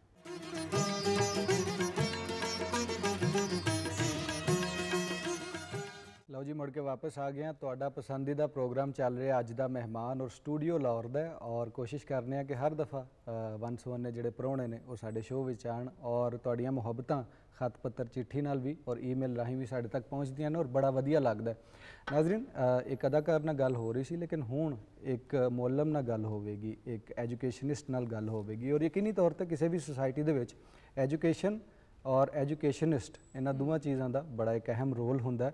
ਔਰ ਉਹੀਓ ਮਹਿਮਾਰ ਹੁੰਦੇ ਨੇ ਅਗਲੀ ਕੌਮ ਦੇ ਔਰ ਨਵੀਆਂ ਨਸਲਾਂ ਦੇ। ਤੇ ਜਿਹੜੇ ਸਾਡੇ ਅੱਜ ਦੇ ਮਹਿਮਾਨ ਨੇ, ਉਹ ਯਕੀਨੀ ਤੌਰ ਤੇ ਐਜੂਕੇਸ਼ਨ ਦੇ ਨਾਲ ਜੁੜੇ ਹੋਏ ਨੇ ਔਰ ਕਾਫੀ ਅਰਸੇ ਤੋਂ ਐਜੂਕੇਸ਼ਨ ਡਿਪਾਰਟਮੈਂਟ ਨੂੰ ਸਰਵ ਕਰ ਰਹੇ ਨੇ। ਯੂਨੀਵਰਸਿਟੀ ਆਫ ਗੁਜਰਾਤ ਨਾਲ ਪਹਿਲੇ ਮੁਨਸਲਿਕ ਰਹੇ, ਲੇਕਿਨ ਅੱਜ ਕੱਲ ਅਲਾਮਾ ਇਕਬਾਲ ਓਪਨ ਯੂਨੀਵਰਸਿਟੀ ਇਸਲਾਮਾਬਾਦ ਦੇ ਵਿੱਚ ਵਾਈਸ ਚਾਂਸਲਰ ਦੇ ਖਿਦਮਤ ਜਿਹੜੀਆਂ ਨੇ ਉਹ ਸਰ ਅੰਜਾਮ ਦੇ ਰਹੇ ਨੇ। ਸਾਡੇ ਨਾਲ ਮੌਜੂਦ ਨੇ ਜਨਾਬ ਜ਼ਿਆਉਲ ਕਯੂਮ ਸਾਹਿਬ। ਅਸਲਾਮ ਅਲੈਕੁਮ ਸਰ। ਵਾਲੇਕੁਮ ਅਸਲਾਮ। ਜ਼ਰਾ ਦੱਸੋ ਕਿ ਕਿੱਥੇ ਪੈਦਾਇਸ਼ ਹੋਈ ਹੈ? ਫਿਰ ਕਿਹੜਾ ਸਕੂਲ ਔਰ ਇੱਕ ਖਾਸ ਤਰ੍ਹਾਂ ਦੀ ਜਿਹੜੀ ਜਰਨੀ ਚੱਲੀ ਉਹਦੇ ਬਾਰੇ? ਮੈਂ ਲਾਹੌਰ ਪੈਦਾ ਹੋਇਆ। ਸੰਤ ਨਗਰ ਅਸੀਂ ਰਹਿੰਦੇ ਸਾਂ। ਔਰ ਇੱਕ ਤਰ੍ਹਾਂ ਡਾਊਨਟਾਊਨ ਹੀ ਕਹਿ ਸਕਦੇ ਡਾਊਨਟਾਊਨ ਹੋਣ ਦੇ ਹਿਸਾਬ ਨਾਲ ਡਾਊਨਟਾਊਨ ਹਾਂਜੀ। ਉਦੋਂ ਦਾ ਤੇ ਸ਼ਾਇਦ ਮੇਰੇ ਖਿਆਲ ਸੈਂਟਰਲ ਲਾਹੌਰ ਹੋਈ ਹੋਏਗਾ ਕੋਈ ਅਨਾਰਕਲੀ ਦੇ ਅੱਗੇ ਪਿੱਛੇ। ਤੇ ਮੇਰੇ ਵਾਲ ਸਾਹਿਬ ਸਰਕਾਰੀ ਮੁਲਾਜ਼ਮ ਸਨ ਤੇ ਉਹਨਾਂ ਦਾ ਉਸ ਤੋਂ ਬਾਅਦ ਤਬਾਦਲਾ ਮੁਲਤਾਨ ਹੋ ਗਿਆ। ਠੀਕ ਹੈ। ਤੇ ਮੈਂ ਕਲਾਸ 3 ਚ ਫਿਰ ਮਤਲਬ ਤੀਸਰੀ ਕਲਾਸ ਤੋਂ ਮੈਂ ਫਿਰ ਮੁਲਤਾਨ ਜਾ ਕੇ ਪੜ੍ਹਨਾ ਸ਼ੁਰੂ ਕੀਤਾ। ਔਰ ਤੀਸਰੀ ਤੋਂ ਲੈ ਕੇ ਯੂਨੀਵਰਸਿਟੀ ਤੱਕ ਜ਼ਕਰੀਆ ਯੂਨੀਵਰਸਿਟੀ ਤੱਕ ਫਿਰ ਮੈਂ ਮੁਲਤਾਨ ਪੜ੍ਹਿਆ। ਸੋ ਜਿਹੜਾ ਪਹਿਲਾ ਹੈ ਕਹਿ ਲਓ ਥੋੜਾ ਜਿਹਾ ਸਫ਼ਰ ਹੈ ਜਿਹੜੀ ਤੁਸੀਂ ਗੱਲ ਕੀਤੀ ਉਸ ਹਿਸਾਬ ਨਾਲ ਤੇ ਅ, ਮਤਲਬ ਮੈਂ ਲਾਹੌਰੀ ਹਾਂ। ਅ, ਮੇਰੀ ਮਾਦਰੀ ਜ਼ੁਬਾਨ ਪੰਜਾਬੀ ਹੈ। ਤੇ ਲੇਕਿਨ ਫਿਰ ਪਿਛਲੇ ਕਮੋਬੇਸ਼ ਕਹਿ ਲਓ ਅ, 40 ਸਾਲਾਂ ਤੋਂ 45 ਸਾਲਾਂ ਤੋਂ ਮੁਲਤਾਨ ਰਹਿ ਕੇ ਫਿਰ ਹੁਣ ਮੈਂ ਸਰਾਇਕੀ ਵੀ ਹਾਂ ਮੈਂ ਹੁਣ ਜਨੂਬੀ ਪੰਜਾਬ ਵੀ ਹਾਂ। ਅ, ਉੱਥੇ ਪਲਿਆ ਬੜਿਆ ਹਾਂ ਉੱਥੇ ਤਾਲੀਮ ਹਾਸਲ ਕੀਤੀ ਫਿਰ ਉੱਥੋਂ ਹੀ ਉਸ ਤੋਂ ਬਾਅਦ ਮੈਂ ਫਿਰ ਆਪਣਾ ਤਾਂ ਕਹਿ ਲਓ ਗੁਜਰਾਤ ਵੀ ਤੁਸੀਂ ਰਹੇ ਅੱਜ ਕੱਲ੍ਹ ਇਸਲਾਮਾਬਾਦ ਹੋ ਤੁਸੀਂ ਪੂਰਾ ਪੰਜਾਬ ਹੀ ਹੋ। ਸੋ ਅਸੀਂ ਖਾਨਾ ਬਦੋਸ਼ ਹੋਏ ਨਾ ਜੀ। ਇੱਕ ਤਾਲੀਮ ਵਾਲੇ ਬੰਦੇ ਨੂੰ ਵੈਸੇ ਵੀ ਸ਼ਾਇਦ ਜਿਹੜੀ ਕਹਿ ਲਓ ਨਾ ਅਸੀਂ ਇੱਕ ਲਫ਼ਜ਼ ਇਸਤੇਮਾਲ ਕਰਨੇ ਆ ਕਿ ਜਿਹੜੀ ਕੌਮੀ ਵਹਦਤ ਹੈ ਉਹਦੇ ਫਰੋਗ ਲਈ ਉਹਨੂੰ ਆਪਣਾ ਕਿਰਦਾਰ ਅਦਾ ਕਰਨਾ ਚਾਹੀਦਾ ਹੈ। ਸੋ ਮੈਂ ਲਾਹੌਰ ਤੋਂ ਸ਼ੁਰੂ ਹੋ ਕੇ ਮੁਲਤਾਨ ਔਰ ਉਸ ਤੋਂ ਬਾਅਦ ਵੈਸੇ ਵੀ ਮੈਂ ਪੰਜਾਬ ਦੇ ਬਹੁਤ ਸਾਰੇ ਇਦਾਰੇ ਨੇ ਜਿਹਦੇ 'ਚ ਕਿਸੇ ਨਾ ਕਿਸੇ ਹੈਸੀਅਤ 'ਚ ਕੋਈ ਨਾ ਕੋਈ ਖਿਦਮਤ ਮੈਂ ਅੰਜਾਮ ਦਿੱਤੀਆਂ। ਸੋ ਇਸ ਲਈ ਇਸ ਸੈਕਟਰ ਨੂੰ ਅਲਹਮਦੁਲਿਲਾ ਮੈਂ ਬੜੇ ਅੱਛੇ ਤਰੀਕੇ ਨਾਲ ਚਲੋ ਸਮਝਣਾ ਵੀ ਆ ਔਰ ਕੋਈ ਆਪਣਾ ਥੋੜਾ ਥੋੜਾ ਜਿਹਾ ਉਹਦੇ 'ਚ ਆਪਣਾ ਕਿਰਦਾਰ ਅਦਾ ਕੀਤਾ। ਯੂਨੀਵਰਸਿਟੀ ਆਫ ਗੁਜਰਾਤ ਦੀਆਂ ਗੱਲਾਂ ਤੇ ਅਸੀਂ ਕਰਾਂਗੇ ਲੇਕਿਨ ਉਸ ਤੋਂ ਪਹਿਲੇ ਜਾਣਾਂਗੇ ਕਿ ਜਿਹੜੀ ਲਾਮਾ ਇਕਬਾਲ ਓਪਨ ਯੂਨੀਵਰਸਿਟੀ ਹੈ ਅਸੀਂ ਸ਼ਾਇਦ ਇਹਨੂੰ ਪਹਿਲੀ ਆਨਲਾਈਨ ਯੂਨੀਵਰਸਿਟੀ ਕਹਿ ਸਕਨੇ ਆ ਮੁਲਕ ਦੀ। ਇੱਕ ਤੇ ਇਹ ਦੱਸ ਦੇਣਾ ਕਿ ਇਹਦਾ ਪਿਛੋਕੜ ਕੀ ਹੈ ਕਿਹਦਾ ਬ੍ਰੇਨ ਚਾਈਲਡ ਸੀ ਕਿਹਨੇ ਸੋਚਿਆ ਕਿ ਇਸ ਤਰ੍ਹਾਂ ਦੀ ਯੂਨੀਵਰਸਿਟੀ ਪਾਕਿਸਤਾਨ ਜੋੜਨੀ ਅੱਛਾ ਜੀ ਵੈਸੇ ਮੈਂ ਮੈਂ ਕਈ ਦੋਸਤਾਂ ਨਾਲ ਗੱਲ ਕਰਨਾ ਹੁੰਦਾ ਹੈ ਕਿ ਮੈਂ ਪੜਿਆ ਫਾਰਮਲ ਇਦਾਰਿਆਂ ਦਾ ਜਿਵੇਂ ਅਸੀਂ ਕਹਿੰਦੇ ਆ ਜਿੱਥੇ ਸਾਹਮਣੇ ਆਮਨੇ ਸਾਹਮਣੇ ਬਹਿ ਕੇ ਉਸਤਾਦ ਪੜ੍ਹਾ ਰਿਹਾ ਹੈ. ਟ੍ਰੈਡੀਸ਼ਨਲ ਜਿਹੜਾ ਸਾਡਾ ਐਜੂਕੇਸ਼ਨ ਸਿਸਟਮ ਹੈ। ਮੈਂ ਗੁੱਤੀ 31 ਸਾਲ ਜਿਹੜਾ ਇਸ profession 'ਚ ਕੰਮ ਵੀ ਕੀਤਾ ਉਹ ਵੀ ਇਸੇ ਤਰ੍ਹਾਂ ਦੇ ਇਦਾਰਿਆਂ 'ਚ ਮੈਂ ਹਮੇਸ਼ਾ ਕੰਮ ਕੀਤਾ। ਮੇਰੇ ਲਈ ਵੀ ਇੱਕ ਯੂਨੀਕ ਐਕਸਪੀਰੀਅੰਸ ਸੀ ਮੈਂ ਬਾਹਰ ਬੈਠਾ ਜ਼ਰੂਰ ਅਲਾਮਾ ਇਕਬਾਲ ਓਪਨ ਯੂਨੀਵਰਸਿਟੀ ਨੂੰ ਮੈਂ ਵੀ ਉਸੇ ਤਰ੍ਹਾਂ ਵੇਖਦਾ ਸਾਂ ਜਿਵੇਂ ਤੁਸੀਂ ਸਾਰੇ ਉਹਦੇ ਬਾਰੇ 'ਚ ਕੁਛ ਨਾ ਕੁਛ ਕਿਸੇ ਨੂੰ ਪੁੱਛ ਦੱਸ ਕੇ ਵੇਖਨੇ ਆ ਕਿ ਅੱਛਾ ਇਹ ਯੂਨੀਵਰਸਿਟੀ ਕੀ ਕਰਦੀ ਹੋਏਗੀ ਤੇ ਬੜਾ ਅਜੀਬ ਜਿਹਾ ਕੰਮ ਕਰਦੀ ਹੈ ਓਪਨ ਯੂਨੀਵਰਸਿਟੀ ਹੈ ਜਿੱਥੇ ਨਾ ਕੋਈ ਉਸਤਾਦ ਉੱਥੇ ਦਾ ਹੈ, ਨਾ ਕੋਈ ਸ਼ਾਗਿਰਦ ਉੱਥੇ ਦਾ ਹੈ। ਲੇਕਿਨ ਮੈਂ ਜਦੋਂ ਉੱਥੇ ਮੇਰੀ ਅੱਲਾਹ ਤਾਲਾ ਨੇ ਜ਼ਿੰਮੇਵਾਰੀ ਦਿੱਤੀ ਤੇ ਮੈਂ ਚੀਜ਼ਾਂ ਦੇਖੀਆਂ ਜਾ ਕੇ ਔਰ ਤੁਹਾਡੇ ਲਈ ਵੀ ਕੁਝ ਚੀਜ਼ਾਂ ਸ਼ਾਇਦ ਬਹੁਤ ਨਵੀਆਂ ਹੋਣਗੀਆਂ ਜਿਹੜੀਆਂ ਮੈਂ ਦੱਸਾਂਗਾ ਜੀ ਜੀ ਕਿ 1974 ਚ ਇੱਕ ਯੂਨੀਵਰਸਿਟੀ ਬਣੇ ਜਦੋਂ ਪਾਕਿਸਤਾਨ ਚ ਖਾਲ ਖਾਲ ਯੂਨੀਵਰਸਿਟੀਆਂ ਸਨ ਚੰਦ ਯੂਨੀਵਰਸਿਟੀਆਂ ਸੀ ਮਤਲਬ ਇਸਲਾਮਾਬਾਦ ਦੀ ਹੱਦ ਤੱਕ ਤਾਂ ਅਸੀਂ ਕਹੀਏ ਤੇ ਕਾਇਦ ਆਜ਼ਮ ਯੂਨੀਵਰਸਿਟੀ ਹੋਏਗੀ। ਫਿਰ ਅਸੀਂ ਕਹੀਏ ਤੇ ਪੰਜਾਬ ਯੂਨੀਵਰਸਿਟੀ ਹੋਏਗੀ ਚਲੋ ਔਰ ਪੰਜਾਬ ਯੂਨੀਵਰਸਿਟੀ ਅੱਧੇ ਪੰਜਾਬ ਦੀ ਅਫੀਲੀਏਸ਼ਨ ਵੀ ਕਾਲਜਾਂ ਦੀ ਪੰਜਾਬ ਯੂਨੀਵਰਸਿਟੀ ਨਾਲ ਹੀ ਉਦੋਂ ਵੀ ਹੁੰਦੀ ਸੀ। 1975 76 ਚ ਜਾ ਕੇ ਜ਼ਕਰੀਆ ਯੂਨੀਵਰਸਿਟੀ ਬਣੀ ਜਾਂ ਇਸਲਾਮੀ ਯੂਨੀਵਰਸਿਟੀ ਬਾਵਲਪੁਰ ਬਣੀ। 1974 ਚ ਇੱਕ ਯੂਨੀਵਰਸਿਟੀ ਬਣੇ ਜਿਹੜੀ ਡਿਸਟੈਂਸ ਐਜੂਕੇਸ਼ਨ ਦੀ ਯੂਨੀਵਰਸਿਟੀ ਹੋਵੇ ਜਿਹੜੀ ਫਾਸਲਾਤੀ ਨਿਜ਼ਾਮ ਤਾਲੀਮ ਦੀ ਯੂਨੀਵਰਸਿਟੀ ਹੋਵੇ ਮੈਂ ਹੈਰਾਨ ਹੁੰਨਾ ਕਿਸੇ ਵੇਲੇ ਅੱਛਾ। ਕਿ ਉਹਨਾਂ ਲੋਕਾਂ ਦਾ ਤੁਸੀਂ ਜ਼ਰਾ ਸੋਚਣ ਦਾ ਅੰਦਾਜ਼ ਵੇਖੋ ਕਿ ਜਦੋਂ ਦੁਨੀਆ 'ਚ ਫਾਸਲਾਤੀ ਨਿਜ਼ਾਮ ਤਾਲੀਮ ਦੀ ਯੂਨੀਵਰਸਿਟੀਆਂ ਦਾ ਕੋਈ ਬਹੁਤ ਰੁਝਾਨ ਨਹੀਂ ਸੀ। ਦੁਨੀਆ ਦੀ ਜਿਹੜੀ ਪਹਿਲੀ ਫਾਸਲਾਤੀ ਨਿਜ਼ਾਮ ਤਾਲੀਮ ਦੀ ਯੂਨੀਵਰਸਿਟੀ ਹੈ ਜਿਹੜੀ ਅੱਜ ਵੀ ਬੜੀ ਨੋਨ ਹੈ ਓਪਨ ਯੂਨੀਵਰਸਿਟੀ ਆਫ ਯੂਕੇ ਹੈ ਮਿਲਟਨ ਕੀਨਜ਼ ਵਿੱਚ। ਇਸ ਯੂ- ਉਹ 1972 ਚ ਬਣੀ ਸੀ। ਅੱਛਾ। ਔਰ 1974 ਜਦੋਂ ਇਹ ਬਣੀ ਤਾਂ ਉਸੇ ਯੂਨੀਵਰਸਿਟੀ ਨੇ ਇਹਦੀ ਬਹਿਰਹਾਲ ਅ, ਨੂੰ ਇਹਦੀ ਬੁਨਿਆਦ ਰੱਖਣ ਵਿੱਚ ਔਰ ਇਹਦੇ ਸਾਰੇ ਚੀਜ਼ਾਂ ਬਣਾਉਣ ਵਿੱਚ ਬੜੀ ਮਦਦ ਵੀ ਕੀਤੀ। ਤੁਹਾਨੂੰ ਇਹਦੀ ਅਹਿਮੀਅਤ ਦਾ ਅੰਦਾਜ਼ਾ ਇਸ ਗੱਲ ਤੋਂ ਜਿਹੜਾ ਮੇਰੇ ਲਈ ਵੀ ਇੱਕ ਬੜੀ ਨਵੀਂ ਗੱਲ ਸੀ ਮੈਂ ਪਿੱਛੇ ਜੇ ਇੱਕ ਡਾਟਾ ਲਿਆ ਹਕੂਮਤ ਨਾਲ ਸ਼ੇਅਰ ਕਰਨ ਵਾਸਤੇ ਕਿ ਇਸ ਇਦਾਰੇ ਦਾ ਕੰਟਰੀਬਿਊਸ਼ਨ ਕੀ ਹੈ।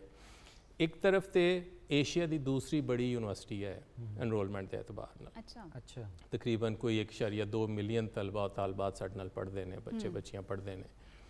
ਫਿਰ ਅਸੀਂ ਅੱਜ ਦੀ ਤਾਰੀਖ ਤੱਕ ਤਕਰੀਬਨ 42 ਲੱਖ ਡਿਗਰੀਆਂ ਇਸ਼ੂ ਕਰ ਚੁੱਕੇ ਹਾਂ। ਅੱਛਾ। ਹੁਣ ਤੁਸੀਂ ਇਸ ਤਾਦਾਦ ਦਾ ਅੰਦਾਜ਼ਾ ਕਰੋ ਕਿ ਅਗਰ ਕਿਸੇ ਵੀ ਇਦਾਰੇ ਨੇ 4.2 ਮਿਲੀਅਨ ਬੱਚੇ ਬੱਚੀਆਂ ਨੂੰ ਤਾਲੀਮ ਦੀ ਸਹੂਲਤ ਦੇ ਕੇ ਫਿਰ ਉਹਨਾਂ ਨੂੰ ਗ੍ਰੈਜੂਏਟ ਕੀਤਾ ਹੁੰਦਾ ਤਾਂ ਤੁਹਾਨੂੰ ਕਿੰਨੇ ਇਦਾਰਿਆਂ ਦੀ ਜ਼ਰੂਰਤ ਹੁੰਦੀ? ਹੂੰ ਬਿਲਕੁਲ। ਫਿਰ ਉਹ ਬੱਚੇ ਬੱਚੀਆਂ ਜਿਹੜੇ ਪਾਕਿਸਤਾਨ ਦੇ ਤੂਲੋ ਅਰਜ਼ ਨੇ ਜਿਹੜੇ ਅਦਰਵਾਈਜ਼ ਜਾਂ ਤੇ ਉੱਥੇ ਕੋਈ ਯੂਨੀਵਰਸਿਟੀ ਕੋਈ ਨਹੀਂ ਜਾਂ ਕੋਈ ਸਕੂਲ ਕੋਈ ਨਹੀਂ ਜਾਂ ਕੋਈ ਕਾਲਜ ਕੋਈ ਨਹੀਂ ਜਾਂ ਫਿਰ ਉਹ ਬੱਚੇ ਬੱਚੀਆਂ ਆਪਣੀ ਕਿਸੇ ਵੀ ਵਜ੍ਹਾ ਤੋਂ ਕਿਸੇ ਮੁਸ਼ਕਲ ਦੀ ਵਜ੍ਹਾ ਤੋਂ ਕਿਸੇ ਜਗ੍ਹਾ ਤੇ ਆ ਕੇ ਕਿਸੇ ਇਦਾਰੇ 'ਚ ਆਪਣੀ ਤਾਲੀਮ ਜਾਰੀ ਨਹੀਂ ਰੱਖ ਸਕਦੇ ਮਤਲਬ ਮੈਂ ਬੜੇ ਰਿਮੋਟ ਏਰੀਆਜ਼ ਗਿਲਗਿਤ ਬਲਤਿਸਤਾਨ ਗਿਆ ਮੈਂ ਆਜ਼ਾਦ ਕਸ਼ਮੀਰ ਦੇ ਬੜੇ ਰਿਮੋਟ ਏਰੀਆਜ਼ ਤੱਕ ਗਿਆ ਮੈਂ ਬਲੋਚਿਸਤਾਨ ਈਵਨ ਮਤਲਬ ਖਾਰਾਨ ਤੱਕ ਗਿਆ ਸਹੀ ਉੱਥੇ ਤੁਹਾਨੂੰ ਬੱਚੇ ਮਿਲਦੇ ਨੇ ਜਿਹੜੇ ਅਲਾਮਾ ਇਕਬਾਲ ਓਪਨ ਯੂਨੀਵਰਸਿਟੀ ਨਾਲ ਪੜ੍ਹ ਰਹੇ ਨੇ ਜਿਹੜੇ ਅਦਰਵਾਈਜ਼ ਫਿਰ ਇਹਦਾ ਮਤਲਬ ਹੈ ਸ਼ਾਇਦ ਤਾਲੀਮ ਦੀ ਸਹੂਲਤ ਤੋਂ ਮਹਿਰੂਮ ਰਹਿ ਜਾਂਦੇ। ਯਾਨੀ ਇੱਕ ਇੱਕ ਵਿਜ਼ਨਰੀ ਮੈਂ ਸਮਝਣਾ ਹੈ ਕਿ ਇੱਕ ਬਹੁਤ ਬੜਾ- ਬੂਟਾ ਉਹਦੇ ਸਮਰਾਟ ਉਹਦਾ ਫਲ ਅਸੀਂ ਹੁਣ ਇਹਦੇ 'ਚ ਖਾ ਕੋਈ ਸ਼ੱਕ ਨਹੀਂ। ਮੈਂ ਸਮਝਣਾ ਜੀ ਕਿ ਇੱਕ ਬਹੁਤ ਵਾਈਜ਼ ਫੈਸਲਾ ਸੀ ਉਸ ਵਕਤ ਦਾ। ਸਹੀ। ਅੱਛਾ ਸਰ ਜਦੋਂ ਤੁਸੀਂ ਬੀਇੰਗ ਅ ਹੈਡ ਇਸ ਯੂਨੀਵਰਸਿਟੀ ਨੂੰ ਜੁਆਇਨ ਕੀਤਾ ਤੇ ਤੁਹਾਨੂੰ ਕਿਹੜੇ-ਕਿਹੜੇ ਚੈਲੰਜਸ ਦਾ ਸਾਹਮਣਾ ਸੀ? ਜਿਵੇਂ ਕਹਿੰਦੇ ਨੇ ਜੀ ਇੱਕ ਘਰ ਬਣਦਾ ਹੈ ਇੱਕ ਮਖਸੂਸ ਤਾਦਾਦ ਦੇ ਲੋਕਾਂ ਦੇ ਰਹਿਣ ਵਾਸਤੇ। ਤੇ ਜਦੋਂ ਫਿਰ ਘਰ 'ਚ ਜੀਆਂ ਦੀ ਤਾਦਾਦ ਵੱਧਦੀ ਜਾਂਦੀ ਹੈ ਤੇ ਫਿਰ ਉਹ ਘਰ ਨੂੰ ਜਾਂ ਤੇ ਵਧਾ- ਵਧਾਇਆ ਜਾਵੇ। ਜਾਂ ਉਹਦੀ ਕੋਈ ਇਸ ਤਰ੍ਹਾਂ ਦੀ ਕੋਈ ਤਰੀਕਾਕਾਰ ਤੈਅ ਕੀਤਾ ਜਾਵੇ ਕਿ ਹਰ ਇੱਕ ਨੂੰ ਇੱਕ ਤਰ੍ਹਾਂ ਦੀਆਂ ਸਹੂਲਤਾਂ ਵੀ ਦਿੱਤੀਆਂ ਜਾ ਮੰਜੀਆਂ ਨੇੜੇ ਕਰਕੇ ਪੱਖਾ ਲਾ ਮੰਨੀਆਂ ਨੇੜੇ ਕਰ ਲਈਏ ਕੋਈ ਪੱਖੇ ਦੋ ਲਾ ਲਈਏ ਜਾਂ ਜੋ ਕੋ ਘਰ ਨੂੰ ਕੋਈ ਇੱਕ ਛੱਤ ਹੋਰ ਮੰਜ਼ਿਲ ਹੋਰ ਪਾ ਲਈਏ ਜਾਂ ਤੇ। ਤੇ ਜੇ ਅਸੀਂ ਚਾਹੀਏ ਕਿ ਉੱਥੇ ਹੀ ਕਿਸੇ ਤਰ੍ਹਾਂ ਸਾਰੀਆਂ ਚੀਜ਼ਾਂ ਪੂਰੀਆਂ ਹੋ ਜਾਣ ਤੇ ਫਿਰ ਹੌਲੀ ਹੌਲੀ ਕਿਸੇ ਦੀ ਮੰਜੀ ਗਲੀ 'ਚ ਨਿਕਲ ਜਾਏਗੀ। So. Allama Iqbal open university ਦਾ ਮੈਂ ਸਮਝਣਾ ਜਿਹੜਾ ਇੱਕ ਬਹੁਤ ਬੜਾ ਚੈਲੰਜ ਹੈ ਇਸ ਸਾਰੇ ਕੰਟਰੀਬਿਊਸ਼ਨ ਦੇ ਨਾਲ ਜਿਹੜੀ ਮੈਂ ਤੁਹਾਨੂੰ ਉਨੀ ਗੁਜ਼ਾਰਿਸ਼ ਕੀਤੀ। ਉਹ ਹੈ ਉਹਦਾ ਸਕੇਲ ਇੱਕ ਐਸੀ ਯੂਨੀਵਰਸਿਟੀ ਜਿਹੜੇ 12 ਲੱਖ ਬੱਚਿਆਂ ਨੂੰ ਪੜ੍ਹਾਉਂਦੀ ਹੋਵੇ। ਤੇ ਜਿੱਦੇ ਬੱਚੇ ਬਲੋਚਿਸਤਾਨ ਤੋਂ ਲੈ ਕੇ ਯਾਨੀ ਗਵਾਦਰ ਤੋਂ ਲੈ ਕੇ ਤੇ ਫਿਰ ਇੱਧਰ ਪਿਸ਼ਾਵਰ ਤੇ ਤੁਸੀਂ ਐਬਟਾਬਾਦ ਤੱਕ ਚਲੇ ਜਾਓ ਤੇ ਆਪਣਾ ਬਾਰਡਰਾਂ ਤੱਕ ਚਲੇ ਜਾਓ ਇੰਟੀਰੀਅਰ ਸਿੰਧ ਚ ਚਲੇ ਜਾਓ। ਤੇ ਤੁਹਾਨੂੰ ਇਹ ਇੱਕ ਇੱਕ ਜਿਹੜੀ ਆਗਹੀ ਰੱਖਣੀ ਨਾ ਕਿ ਹਰ ਬੱਚੇ ਨੂੰ ਇੱਕ ਕੁਆਲਿਟੀ ਐਜੂਕੇਸ਼ਨ ਦਿੱਤੀ ਜਾ ਰਹੀ ਹੈ। ਜਿਹੜਾ ਯੂਨੀਵਰਸਿਟੀ ਦਾ ਸਿਲੇਬਸ ਸੀ ਜਾਂ ਜਿਹੜੀ ਮੈਂ ਕਿਤਾਬਾਂ ਨੇ ਉਹਨਾਂ ਨੂੰ ਪਹੁੰਚ ਗਈਆਂ ਨੇ ਪੜ੍ਹਾਉਣ ਵਾਲੇ ਉਸੇ ਇੱਕ ਖੁਸ਼ੂ ਖਜ਼ੂ ਨਾਲ ਅੱਛੇ ਅਸਾਤਜ਼ਾ ਕਰਾਮ ਨੇ ਔਰ ਉਹ ਫਿਰ ਪੜ੍ਹਾ ਰਹੇ ਨੇ ਤੇ ਕੀ ਪੜ੍ਹਾ ਰਹੇ ਨੇ। ਇਹ ਇੱਕ ਮੈਂ ਸਮਝਦਾ ਬਹੁਤ ਬੜਾ ਚੈਲੰਜ ਸੀ ਕਿ ਜਿਹੜਾ ਮੈਨੂਅਲ ਤਰੀਕਾ ਕਾਰ ਨਾਲ ਜਦੋਂ ਅਸੀਂ ਇਹ ਸਾਰਾ ਕੁਝ ਕਰ ਰਹੇ ਸਾਂ ਤਾਂ ਉਹਦੇ ਬੜੇ ਸਾਰੇ ਮਸਾਇਲ ਸੀ। ਅ, ਤਾਂ ਮੈਂ ਅਗਰ ਉਹਨੂੰ ਕਹਾਂ ਸਮ ਅਪ ਕਰਕੇ ਕਿ ਜਿਹੜਾ ਅਕੈਡੈਮਿਕ ਡਿਸਪਲਿਨ ਨੂੰ ਬਿਹਤਰ ਕਰਨਾ ਜਿਹੜਾ ਸੀ ਉਹ ਮੈਂ ਸਮਝਣਾ ਹੈ ਕਿ ਇੱਕ ਬਹੁਤ ਬੜਾ ਚੈਲੰਜ ਸੀ ਸਾਡੇ ਵਾਸਤੇ। ਠੀਕ ਹੈ। ਅੱਛਾ ਸਰ ਤੁਸੀਂ ਇਹ ਨਹੀਂ ਦੱਸਿਆ ਕਿ ਆਖਿਰ ਐਜੂਕੇਸ਼ਨ ਹੀ ਕਿਉਂ ਚੂਜ਼ ਕੀਤੀ? ਕਿਉਂਕਿ ਜਦੋਂ ਬੰਦਾ ਪੈਦਾ ਹੁੰਦਾ ਹੈ ਤੇ ਕਾਫੀ ਤਰ੍ਹਾਂ ਦੇ ਉਹਦੇ ਪੈਸ਼ਨ ਹੁੰਦੇ ਨੇ। ਕੋਈ ਕਦੀ ਕ੍ਰਿਕਟਰ ਬਣ ਜਾਂਦਾ ਥੋੜਾ ਜਿਹਾ ਵੱਡਾ ਹੁੰਦਾ ਤੇ ਕਹਿੰਦਾ ਨਹੀਂ ਮੈਂ ਇਹ ਬਣਨਾ ਹੈ ਡਾਕਟਰ ਬਣਨਾ ਹੈ। ਫਿਰ ਥੋੜਾ ਹੋਰ ਵੱਡਾ ਹੁੰਦਾ ਤੇ ਕਹਿੰਦਾ ਮੈਂ ਐਕਟਰ ਬਣਨਾ ਹੈ। ਕਰਦੇ ਕਰਦੇ ਆ ਫਿਰ ਉਹ ਕਿਸੇ ਹੋਰ ਹੀ ਸ਼ੋਬੇ ਚਲਾ ਜਾਂਦਾ ਆਖਿਰ ਦੇ ਵਿੱਚ? ਬਹੁਤ ਸਾਰੇ ਮੇਰਾ ਖਿਆਲ ਹੈ ਉਸ ਤਰ੍ਹਾਂ ਜਿਹੜੀ ਤੁਸੀਂ ਆ ਜਿੰਨੀ ਕੁ ਗੱਲ ਦੱਸੀ ਹੈ ਉਸ ਤਰ੍ਹਾਂ ਦੇ ਸਾਰੇ ਸ਼ੋਬਿਆਂ ਚੋਂ ਮੈਂ ਵੀ ਗੁਜ਼ਰ ਗਿਆ। ਅੱਛਾ। ਮਤਲਬ ਬੰਦਾ ਜਦੋਂ ਸਕੂਲੇ ਪੜ੍ਹਦਾ ਹੁੰਦਾ ਹੈ ਤੇ ਬੰਦੇ ਦੀ ਮਤਲਬ ਬਹਿਰਲ ਮੈਂ ਉਸ ਸਕੂਲੇ ਪੜ੍ਹਿਆ ਜਿੱਥੇ ਜਦੋਂ ਤਫਰੀ ਹੁੰਦੀ ਸੀ ਜਿਹੜਾ ਅਸੀਂ ਕਹਿੰਦੇ ਆ ਰਿਸਰਚ ਪੀਰੀਅਡ ਆਇਆ। ਤੇ ਉਹਦੇ ਚ ਉਸ ਗਰਾਊਂਡ 'ਚ ਪਤਾ ਨਹੀਂ ਸੀ ਲੱਗਦਾ ਹੁੰਦਾ ਵੀ ਕਿਹੜਾ ਕਿਹੜੀ ਟੀਮ ਵੱਲੋਂ ਖੇਡਦਾ ਪਿਆ ਜਾਂ ਕੋਈ ਫੁੱਟਬਾਲ ਖੇਡਣ ਡਿਆ ਜਾਂ ਕੋਈ ਕ੍ਰਿਕਟ ਖੇਡਣ ਡਿਆ। ਅੱਛਾ। ਸੋ ਇਟ ਵਾਸ ਫਨ ਹਾਂ ਸੋ ਬੜਾ ਜਨੂਨ ਸੀ ਕ੍ਰਿਕਟ ਖੇਡਣ ਦਾ ਘਰੋਂ ਛੁਪ ਕੇ ਵੀ ਜਾ ਕੇ ਖੇਡੀ ਤੇ ਲੱਤਾਂ ਵੀ ਸਿਕਵਾਈਆਂ ਹਰ ਵੇਲੇ ਗੇਂਦ ਵੱਜ ਵੱਜ ਕੇ। ਅ, ਔਰ ਮੈਂ ਯੂਨੀਵਰਸਿਟੀ ਤੱਕ ਖੇਡੀ ਕ੍ਰਿਕਟ ਫਿਰ ਅੱਛਾ ਅ, ਫਿਰ ਵਕਤ ਘਟ ਗਿਆ ਤੇ ਫਿਰ ਮੈਂ ਬਾਸਕਟਬਾਲ ਵੀ ਖੇਡੀ ਹਾਕੀ ਵੀ ਖੇਡੀ ਅੱਛਾ ਅ, ਕਈ ਵਾਰੀ ਗਿੱਟੇ ਪਨਾਏ ਲੇਕਿਨ ਫਿਰ ਅ, ਜਦੋਂ ਮੈਂ ਕੈਰੀਅਰ ਸ਼ੁਰੂ ਕੀਤਾ ਤੇ ਫਿਰ ਵਕਤ ਨਹੀਂ ਸੀ ਤੇ ਮੈਂ ਬੈਡਮਿੰਟਨ ਸ਼ੁਰੂ ਕਰ ਦਿੱਤੀ ਲੇਕਿਨ ਜਦੋਂ ਮੈਂ ਗ੍ਰੈਜੂਏਟ ਹੋਇਆ ਤੇ ਮੈਂ ਇੱਕ ਗੱਲ ਤੈਅ ਕੀਤੀ ਸੀ ਕਿ ਮੈਂ ਕੋਈ ਫੀਲਡ ਦੀ ਜੌਬ ਨਹੀਂ ਕਰ ਸਕਦਾ ਮੇਰਾ ਆਪਣਾ ਇੱਕ ਮਿਜ਼ਾਜ ਹੈ ਕਿ ਸ਼ਾਇਦ ਮੈਂ ਅ, ਕੋਈ ਕੋਈ ਵੀ ਇਸ ਤਰ੍ਹਾਂ ਦੀ ਕੋਈ ਮਾਰਕੀਟਿੰਗ ਕੋਈ ਫੀਲਡ ਦੀ ਜੌਬ ਨਹੀਂ ਕਰ ਸਕਦਾ। ਸਾਡੇ यहाँ ਇੱਕ ਬੜਾ ਕਨਵੈਨਸ਼ਨਲ ਜ਼ਾਹਿਰ ਹੈ ਇੱਕ ਹੈ ਕਿ ਜੀ ਉਸਤਾਦ ਬਣ ਜਾਓ। ਮੈਂ ਅਪਲਾਈ ਜ਼ਰੂਰ ਕੀਤਾ। ਜੌਬ ਆਈ ਔਰ ਅੱਲਾ ਦਾ ਸ਼ੁਕਰ ਇਹ ਹੋਇਆ ਕਿ ਬਹਰਹਾਲ ਜਿਹੜੀ ਪਹਿਲੀ ਮੈਂ ਜੌਬ ਅਪਲਾਈ ਕੀਤੀ ਮੈਂ ਉਹਦੇ ਲਈ ਦਰਖਾਸਤ ਦਿੱਤੀ ਮੇਰੀ ਉੱਥੇ ਨੌਕਰੀ ਹੋ ਗਈ ਤੇ ਮੈਂ ਪੜ੍ਹਾਉਣਾ ਸ਼ੁਰੂ ਕਰ ਦਿੱਤਾ। ਪੜ੍ਹਾਉਣ ਨੂੰ ਮੈਂ ਇੰਜੋਏ ਪੜ੍ਹਾਉਂਦਿਆਂ ਹੋਇਆਂ ਕੀਤਾ ਫਿਰ। ਬੜੀ ਸੱਚੀ ਗੱਲ ਹੈ। ਕਿ ਮੈਂ ਮਹਿਸੂਸ ਕੀਤਾ ਕਿ ਅਗਰ ਤੁਸੀਂ ਇਸ ਕਲਾਸ ਵਿੱਚ ਬੰਦਾ ਕੋਈ ਤਿਆਰੀ ਕਰਕੇ ਜਾ ਕੇ ਪੜ੍ਹਾਵੇ ਔਰ ਜਿਹੜੇ ਸਾਹਮਣੇ ਕੋਈ ਬੈਠੇ ਨੇ ਅਗਰ ਉਹਨਾਂ ਨੂੰ ਕੋਈ ਦੋ ਗੱਲਾਂ ਕਿਸੇ ਉਸਤਾਦ ਦੀਆਂ ਸਮਝ ਆ ਗਈਆਂ ਤੇ ਜਿਹੜੀ ਉਹਨਾਂ ਦੇ ਚਿਹਰੇ ਤੇ ਇੱਕ ਹੁੰਦੀ ਨਾ ਇੱਕ ਬੰਦਾ ਪੜ ਸਕਦਾ ਹੈ ਕਿ ਅੱਛਾ ਬੜੀ ਇਤਮਾਨਾਨ ਜਾਂ ਇੱਕ ਤਮਾਨੀਅਤ ਹੁੰਦੀ ਉਹਨਾਂ ਦੇ। ਫਿਰ ਬੰਦੇ ਨੂੰ ਇੱਕ ਅਹਿਸਾਸ ਹੁੰਦਾ ਹੈ ਕਿ ਅੱਛਾ ਮੈਂ ਕੋਈ ਥੋੜਾ ਜਿਹਾ ਕੰਮ ਕਰ ਪਾਇਆ ਕਿਸੇ ਦੀ ਜ਼ਿੰਦਗੀ 'ਚ ਬਿਹਤਰੀ ਲਿਆਉਣ ਵਾਸਤੇ। ਸੋ ਮੈਂ ਆਪਣੇ ਇਸ profession ਨੂੰ ਬਹਰਹਾਲ ਉਹਦੇ 'ਚ ਕੰਮ ਕਰਦਿਆਂ ਇੰਜੋਏ ਕਰਨਾ ਸ਼ੁਰੂ ਕੀਤਾ। And now I I really love whatever am doing ਅੱਛਾ। ਜ਼ਬਰਦਸਤ। ਤੇ we also love and we are also very proud ਕਿ ਵਟ ਯੂ ਆਰ ਡੂਇੰਗ ਅੱਛਾ ਸਰ ਮੈਨੂੰ ਇਹ ਦੱਸ ਦਿਓ ਚਲੋ ਤੁਸੀਂ ਯੂਨੀਵਰਸਿਟੀ ਆਫ ਗੁਜਰਾਤ ਨਾਲ ਵੀ ਅਟੈਚ ਰਹੇ ਹੋ। ਤੇ ਤੁਹਾਨੂੰ ਇਹਨਾਂ ਦੋਵਾਂ ਯੂਨੀਵਰਸਿਟੀਆਂ 'ਚ ਕੀ ਡਿਫਰੈਂਸ ਸੀ? ਕੀ ਇਹਨਾਂ ਦੇ ਮਤਲਬ ਤਰੀਕੇ ਸੀ ਕੀ ਕੀ ਡਿਫਰੈਂਟ ਸੀ? ਉਹ ਸਾਨੂੰ ਜ਼ਰਾ ਦੱਸ ਦਿਓ ਚਲੋ। ਟ੍ਰੈਡੀਸ਼ਨਲੀ ਹਾਂ। ਲੇਕਿਨ ਟ੍ਰੈਡੀਸ਼ਨਲ ਦਾ ਮੈਂ ਜਿਵੇਂ ਗੁਜ਼ਾਰਿਸ਼ ਕੀਤੀ ਨਾ ਕਿ ਬਾਕੀ ਗੁਜਰਾਤ ਯੂਨੀਵਰਸਿਟੀ ਆਫ ਗੁਜਰਾਤ ਉਸੇ ਤਰ੍ਹਾਂ ਦੀ ਯੂਨੀਵਰਸਿਟੀ ਹੈ ਜਿਹੋ ਜਿਹੀਆਂ ਯੂਨੀਵਰਸਿਟੀਆਂ ਮੈਂ ਪੜ੍ਹਿਆ ਸਾਂ ਜਿੱਥੇ ਮੈਂ ਤਕਰੀਬਨ ਪਿਛਲੇ 25 26 ਸਾਲ ਪੜ੍ਹਾਇਆ ਹੈ। ਜ਼ਾਹਿਰ ਉਸ ਤਰ੍ਹਾਂ ਦੀ ਇੱਕ ਯੂਨੀਵਰਸਿਟੀ ਸੀ। ਇੱਕ ਫ਼ਰਕ ਸਿਰਫ ਇਹ ਸੀ ਕਿ ਇੱਕ ਨਵਾਂ ਇਦਾਰਾ ਸੀ ਬੁਨਿਆਦੀ ਤੌਰ ਤੇ। ਬਾਕੀ ਯੂਨੀਵਰਸਿਟੀਆਂ ਦੀ ਨਿਸਬਤ ਉਹਨੂੰ ਬਣੇ ਨੂੰ ਤਕਰੀਬਨ ਕੋਈ 10 11 ਸਾਲ ਹਲੇ ਹੋਏ ਸੀ। ਨਵੀਆਂ ਯੂਨੀਵਰਸਿਟੀਆਂ 'ਚ ਜਿਹੜੇ ਅਸੀਂ ਕਹਿੰਦੇ ਨਾ ਜਿਵੇਂ ਨੋਰਮਸ ਐਸਟੈਬਲਿਸ਼ ਹੁੰਦੇ ਆ ਵਕਤ ਲੱਗਦਾ ਹੈ। ਐਕੈਡੈਮਿਕ ਨੋਰਮਸ ਵੀ ਡਿਸਪਲਿਨ ਦੇ ਮਾਮਲਾਤ ਵੀ ਔਰ ਆਈ ਮੀਨ ਇੱਕ ਐਕੈਡੈਮਿਕ ਕਲਚਰ ਬਣਦੇ ਆ ਥੋੜਾ ਜਿਹਾ ਵਕਤ ਲੱਗਦਾ ਹੈ। ਤੇ ਉਹ ਇੱਕ ਚੈਲੰਜ ਮੈਂ ਸਮਝਦਾ ਉੱਥੇ ਹੈ ਸੀ ਕਿ ਉਸ ਨੂੰ ਇੱਕ ਟਿਪੀਕਲ ਵਕਤਨ ਇੱਕ ਅੱਛੀ ਯੂਨੀਵਰਸਿਟੀ ਜਿਹੜੀ ਇੰਟਰਨੈਸ਼ਨਲ ਪ੍ਰੈਕਟਿਸਿਸ ਨੂੰ ਅਡਾਪਟ ਕਰਦੀ ਹੋਵੇ ਉਹਦੇ ਤੇ ਆਹਿਸਤਾ ਆਹਿਸਤਾ ਫੈਕਲਟੀ ਦੀ ਟ੍ਰੇਨਿੰਗ ਵੀ ਉਸ ਤਰ੍ਹਾਂ ਕੀਤੀ ਜਾਵੇ ਤਲਬਾ ਨੂੰ ਵੀ ਉਸ ਤਰ੍ਹਾਂ ਦੇ ਜ਼ਿਹਨੀ ਤੌਰ ਤੇ ਤਿਆਰ ਕੀਤਾ ਜਾਵੇ ਕਿ ਉਹ ਵੀ ਨਾਲ ਇਨਵੋਲਵ ਹੋ ਸਕਣ। ਸੋ ਪਹਿਲੇ 2 ਸਾਲ ਤੇ ਬੜਾ ਚੈਲੰਜ ਰਿਹਾ ਗੁਜਰਾਤ ਜਿਹਾ ਸ਼ਹਿਰ ਜਿਹੜਾ ਤੁਹਾਨੂੰ ਪਤਾ ਹੈ ਬਹਰਹਾਲ ਜਿਹਦੇ ਚ ਬੜੀ ਇੱਕ ਉਹਦਾ ਆਪਣਾ ਇੱਕ culture ਉਹਦਾ ਹੈ। ਆਪਣਾ ਇੱਕ ਕਲਚਰ ਹੈ ਬਹਰਹਾਲ ਅ, ਅ, ਲੇਕਿਨ ਅ, ਅਲਹਮਦੁਲਿਲਾ ਜਦੋਂ ਮੈਂ ਉੱਥੋਂ 4 ਸਾਲ ਬਾਅਦ ਨਿਕਲਿਆ ਮੈਨੂੰ ਇੱਕ ਤਮਾਨੀਅਤ ਹੈ ਕਿ ਅਸੀਂ ਉਸ ਯੂਨੀਵਰਸਿਟੀ ਦੇ ਬਿਹਤਰੀ 'ਚ ਥੋੜਾ ਜਿਹਾ ਕੋਈ ਕਿਰਦਾਰ ਅਦਾ ਕਰ ਸਕੇ ਹਾਂ ਔਰ ਅਲਹਮਦੁਲਿਲਾ ਉਹ ਆਪਣੇ ਇੱਕ ਟਰੈਕ ਤੇ ਚੱਲ ਰਹੀ ਹੈ ਜਦਕਿ ਅਲਾਮਾ ਇਕਬਾਲ ਓਪਨ ਯੂਨੀਵਰਸਿਟੀ ਦਾ ਚੂੰਕਿ ਬਿਲਕੁਲ ਪੜ੍ਹਾਉਣ ਦਾ ਤਰੀਕਾਕਾਰ ਹੀ ਮੁxtਲਿਫ ਹੈ ਜੀ ਲੇਕਿਨ ਅੱਲਾ ਦਾ ਸ਼ੁਕਰ ਇਹ ਹੋਇਆ ਮੈਂ ਚੁੱਕੇ ਥੋੜਾ ਜਿਹਾ ਮੇਰਾ ਬੈਕਗ੍ਰਾਉਂਡ ਟੈਕਨੋਲੋਜੀ ਦਾ ਰਿਹਾ ਹੈ ਔਰ ਮੈਂ ਇਸ ਤਰ੍ਹਾਂ ਦੇ ਕੰਮ ਚਲੋ ਪਹਿਲੇ ਕਰਦਾ ਰਿਹਾ ਸਾਂ ਤੇ ਅਸੀਂ ਅ, ਇੱਕ ਆਪਣਾ ਲਾਇ ਅਮਲ ਤਰਤੀਬ ਦਿੱਤਾ ਕਿ ਇਸ ਯੂਨੀਵਰਸਿਟੀ ਦਾ ਜਿੰਨਾ ਬੜਾ ਅਸੀਂ ਇੱਕ ਪ੍ਰਾਈਡ ਲੈਂਦੇ ਹਾਂ ਕਿ ਜੀ ਇੱਕ ਮੈਂ ਐਸੀ ਯੂਨੀਵਰਸਿਟੀ ਦਾ ਵੀਸੀ ਹਾਂ ਅੱਲਾ ਦਾ ਸ਼ੁਕਰ ਹੈ ਜਿਹੜਾ ਜਿਹੜੀ ਪਾਕਿਸਤਾਨ ਦੀ ਸਭ ਤੋਂ ਬੜੀ ਜਾਮਿਆ ਹੈ ਜਿਹੜੀ ਏਸ਼ੀਆ ਦੀ ਦੂਸਰੀ ਬੜੀ ਜਾਮਿਆ ਹੈ।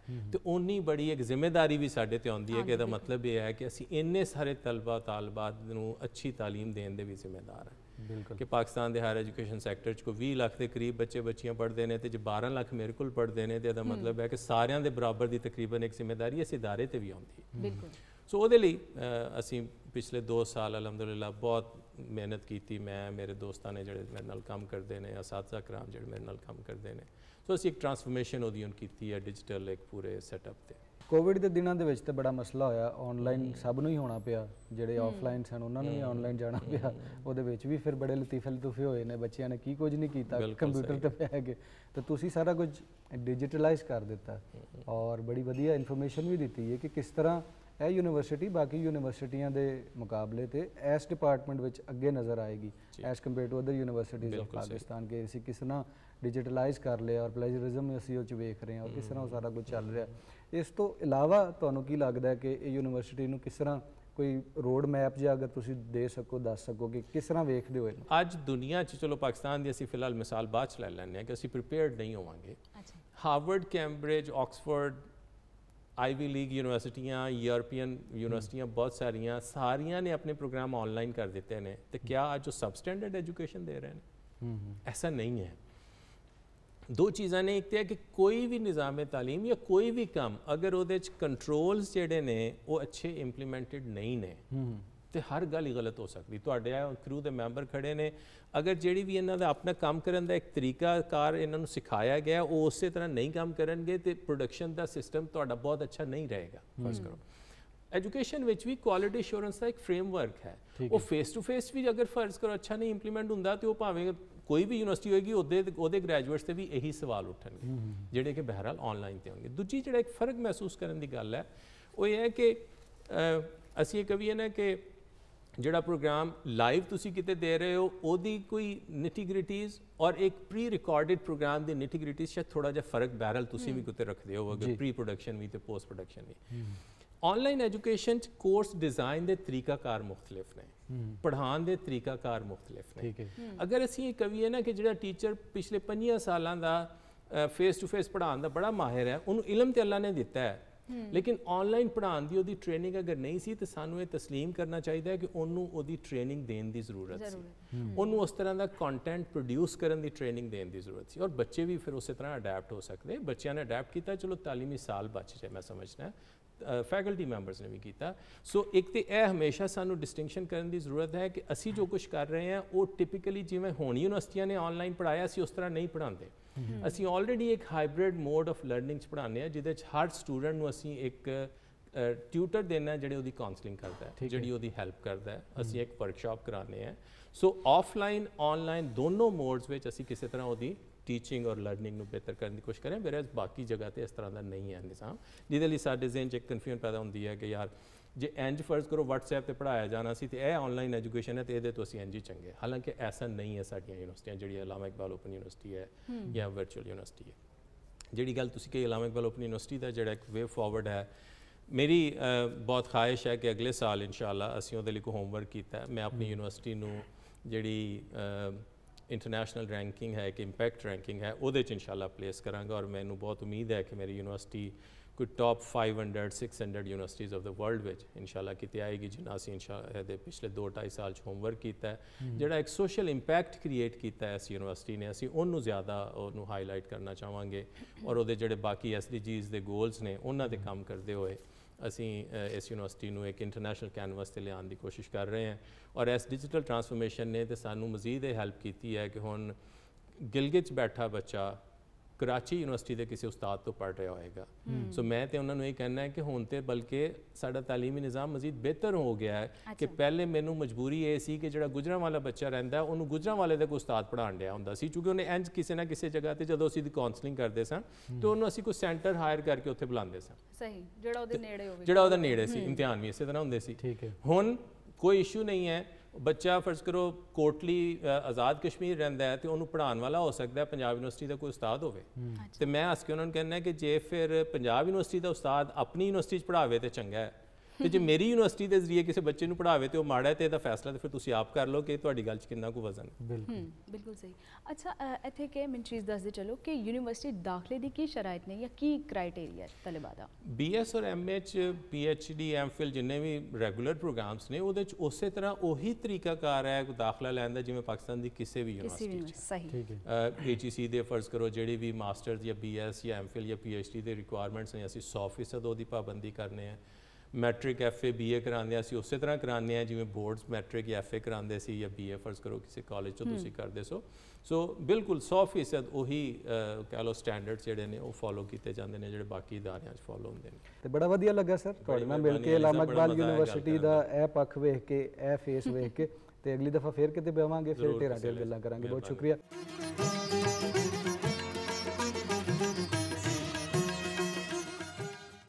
ਜੀ, ਬਾਖਬਰ ਹੋਣ ਤੋਂ ਬਾਅਦ ਵਾਪਸ ਆਏ ਹਾਂ ਸਟੂਡੀਓ ਦੇ ਵਿੱਚ ਔਰ ਵੀਸੀ ਸਾਹਿਬ ਨਾਲ ਗੱਲਬਾਤ ਹੋ ਰਹੀ ਸੀ ਇਲਾਮਾ ਇਕਬਾਲ ਓਪਨ ਯੂਨੀਵਰਸਿਟੀ ਦੇ ਹਵਾਲੇ ਨਾਲ ਔਰ ਬੜੀਆਂ ਗੱਲਾਂ ਨਵੀਆਂ ਪਤਾ ਲੱਗੀਆਂ ਨੇ ਔਰ ਪਤਾ ਚੱਲਿਆ ਕਿ ਇਲਾਮਾ ਇਕਬਾਲ ਓਪਨ ਯੂਨੀਵਰਸਿਟੀ ਜਿਹੜੀ ਹੈ ਉਹ ਕਿਸ ਤਰ੍ਹਾਂ ਕੁਆਲਿਟੀ ਐਜੂਕੇਸ਼ਨ ਦੇ ਰਹੀ ਹੈ ਔਰ ਕਿਸ ਤਰ੍ਹਾਂ ਡਿਜੀਟਲਾਈਜ਼ ਹੋ ਰਹੀ ਹੈ ਵਕਤ ਦੇ ਨਾਲ ਨਾਲ ਔਰ ਬਿਹਤਰ ਤਰੀਕੇ ਨਾਲ ਹੋ ਰਹੀ ਹੈ as compare to other universities ਹੁਣ ਅਸੀਂ ਜਿਹੜਾ ਨਾ ਸੂਫੀ ਸੈਗਮੈਂਟ ਵੱਲ ਵਧਣਾ ਔਰ ਹਮੇਸ਼ਾ ਦੀ ਤਰ੍ਹਾਂ ਸਾਡੇ ਸਟੂਡੀਓ ਦੇ ਵਿੱਚ ਜਿਹੜੇ ਮਹਿਮਾਨ ਨੇ ਉਹਨਾਂ ਦੀ ਸ਼ਕਲ ਤੋਂ ਵੀ ਤੁਸੀਂ ਬਾਖਬਰ ਹੋ ਉਹਨਾਂ ਦੇ ਨਾਂ ਤੋਂ ਵੀ ਤੁਸੀਂ ਬਾਖਬਰ ਹੋ ਉਹਨਾਂ ਦੇ ਕੰਮ ਤੋਂ ਵੀ ਤੁਸੀਂ ਬਾਖਬਰ ਹੋ ਔਰ ਅਸੀਂ ਬਾਖਬਰ ਹੁੰਨੇ ਆ ਸੂਫੀਆਂ ਤੋਂ ਉਹਨਾਂ ਦੇ ਥਰੂ ਤੇ ਬਿਲਕੁਲ ਡਾਕਟਰ ਸੁਗਰਾ ਸਦਫ ਸਾਡੇ ਨਾਲ ਬੈਠੇ ਨੇ ਸਟੂਡੀਓ ਦੇ ਵਿੱਚ ਔਰ ਅੱਜ ਬੜੇ ਖੂਬਸੂਰਤ ਲੱਗ ਰਹੇ ਨੇ ਕਿਉਂਕਿ ਖਿਲਿਆ ਖਿੜਿਆ ਹੋਇਆ ਇੱਕ ਰੰਗ ਪਾਇਆ ਉਹਨਾਂ ਨੇ ਗਰਮੀ ਦੇ ਵਿੱਚ ਤੇ ਬੜਾ ਇੱਕ ਨਾ ਉਹ ਵੀ ਇੱਕ ਇੱਕ ਇੰਪ੍ਰੈਸ਼ਨ ਦਿੰਦਾ ਆਲੇ ਦੁਆਲੇ ਦੇ ਵਿੱਚ। ਬਿਲਕੁਲ ਇਹ ਉਹ ਕਹਿੰਦੇ ਨੇ ਕਿ ਦਿਲ ਨੂੰ ਖੁਸ਼ ਰੱਖਣ ਦਾ।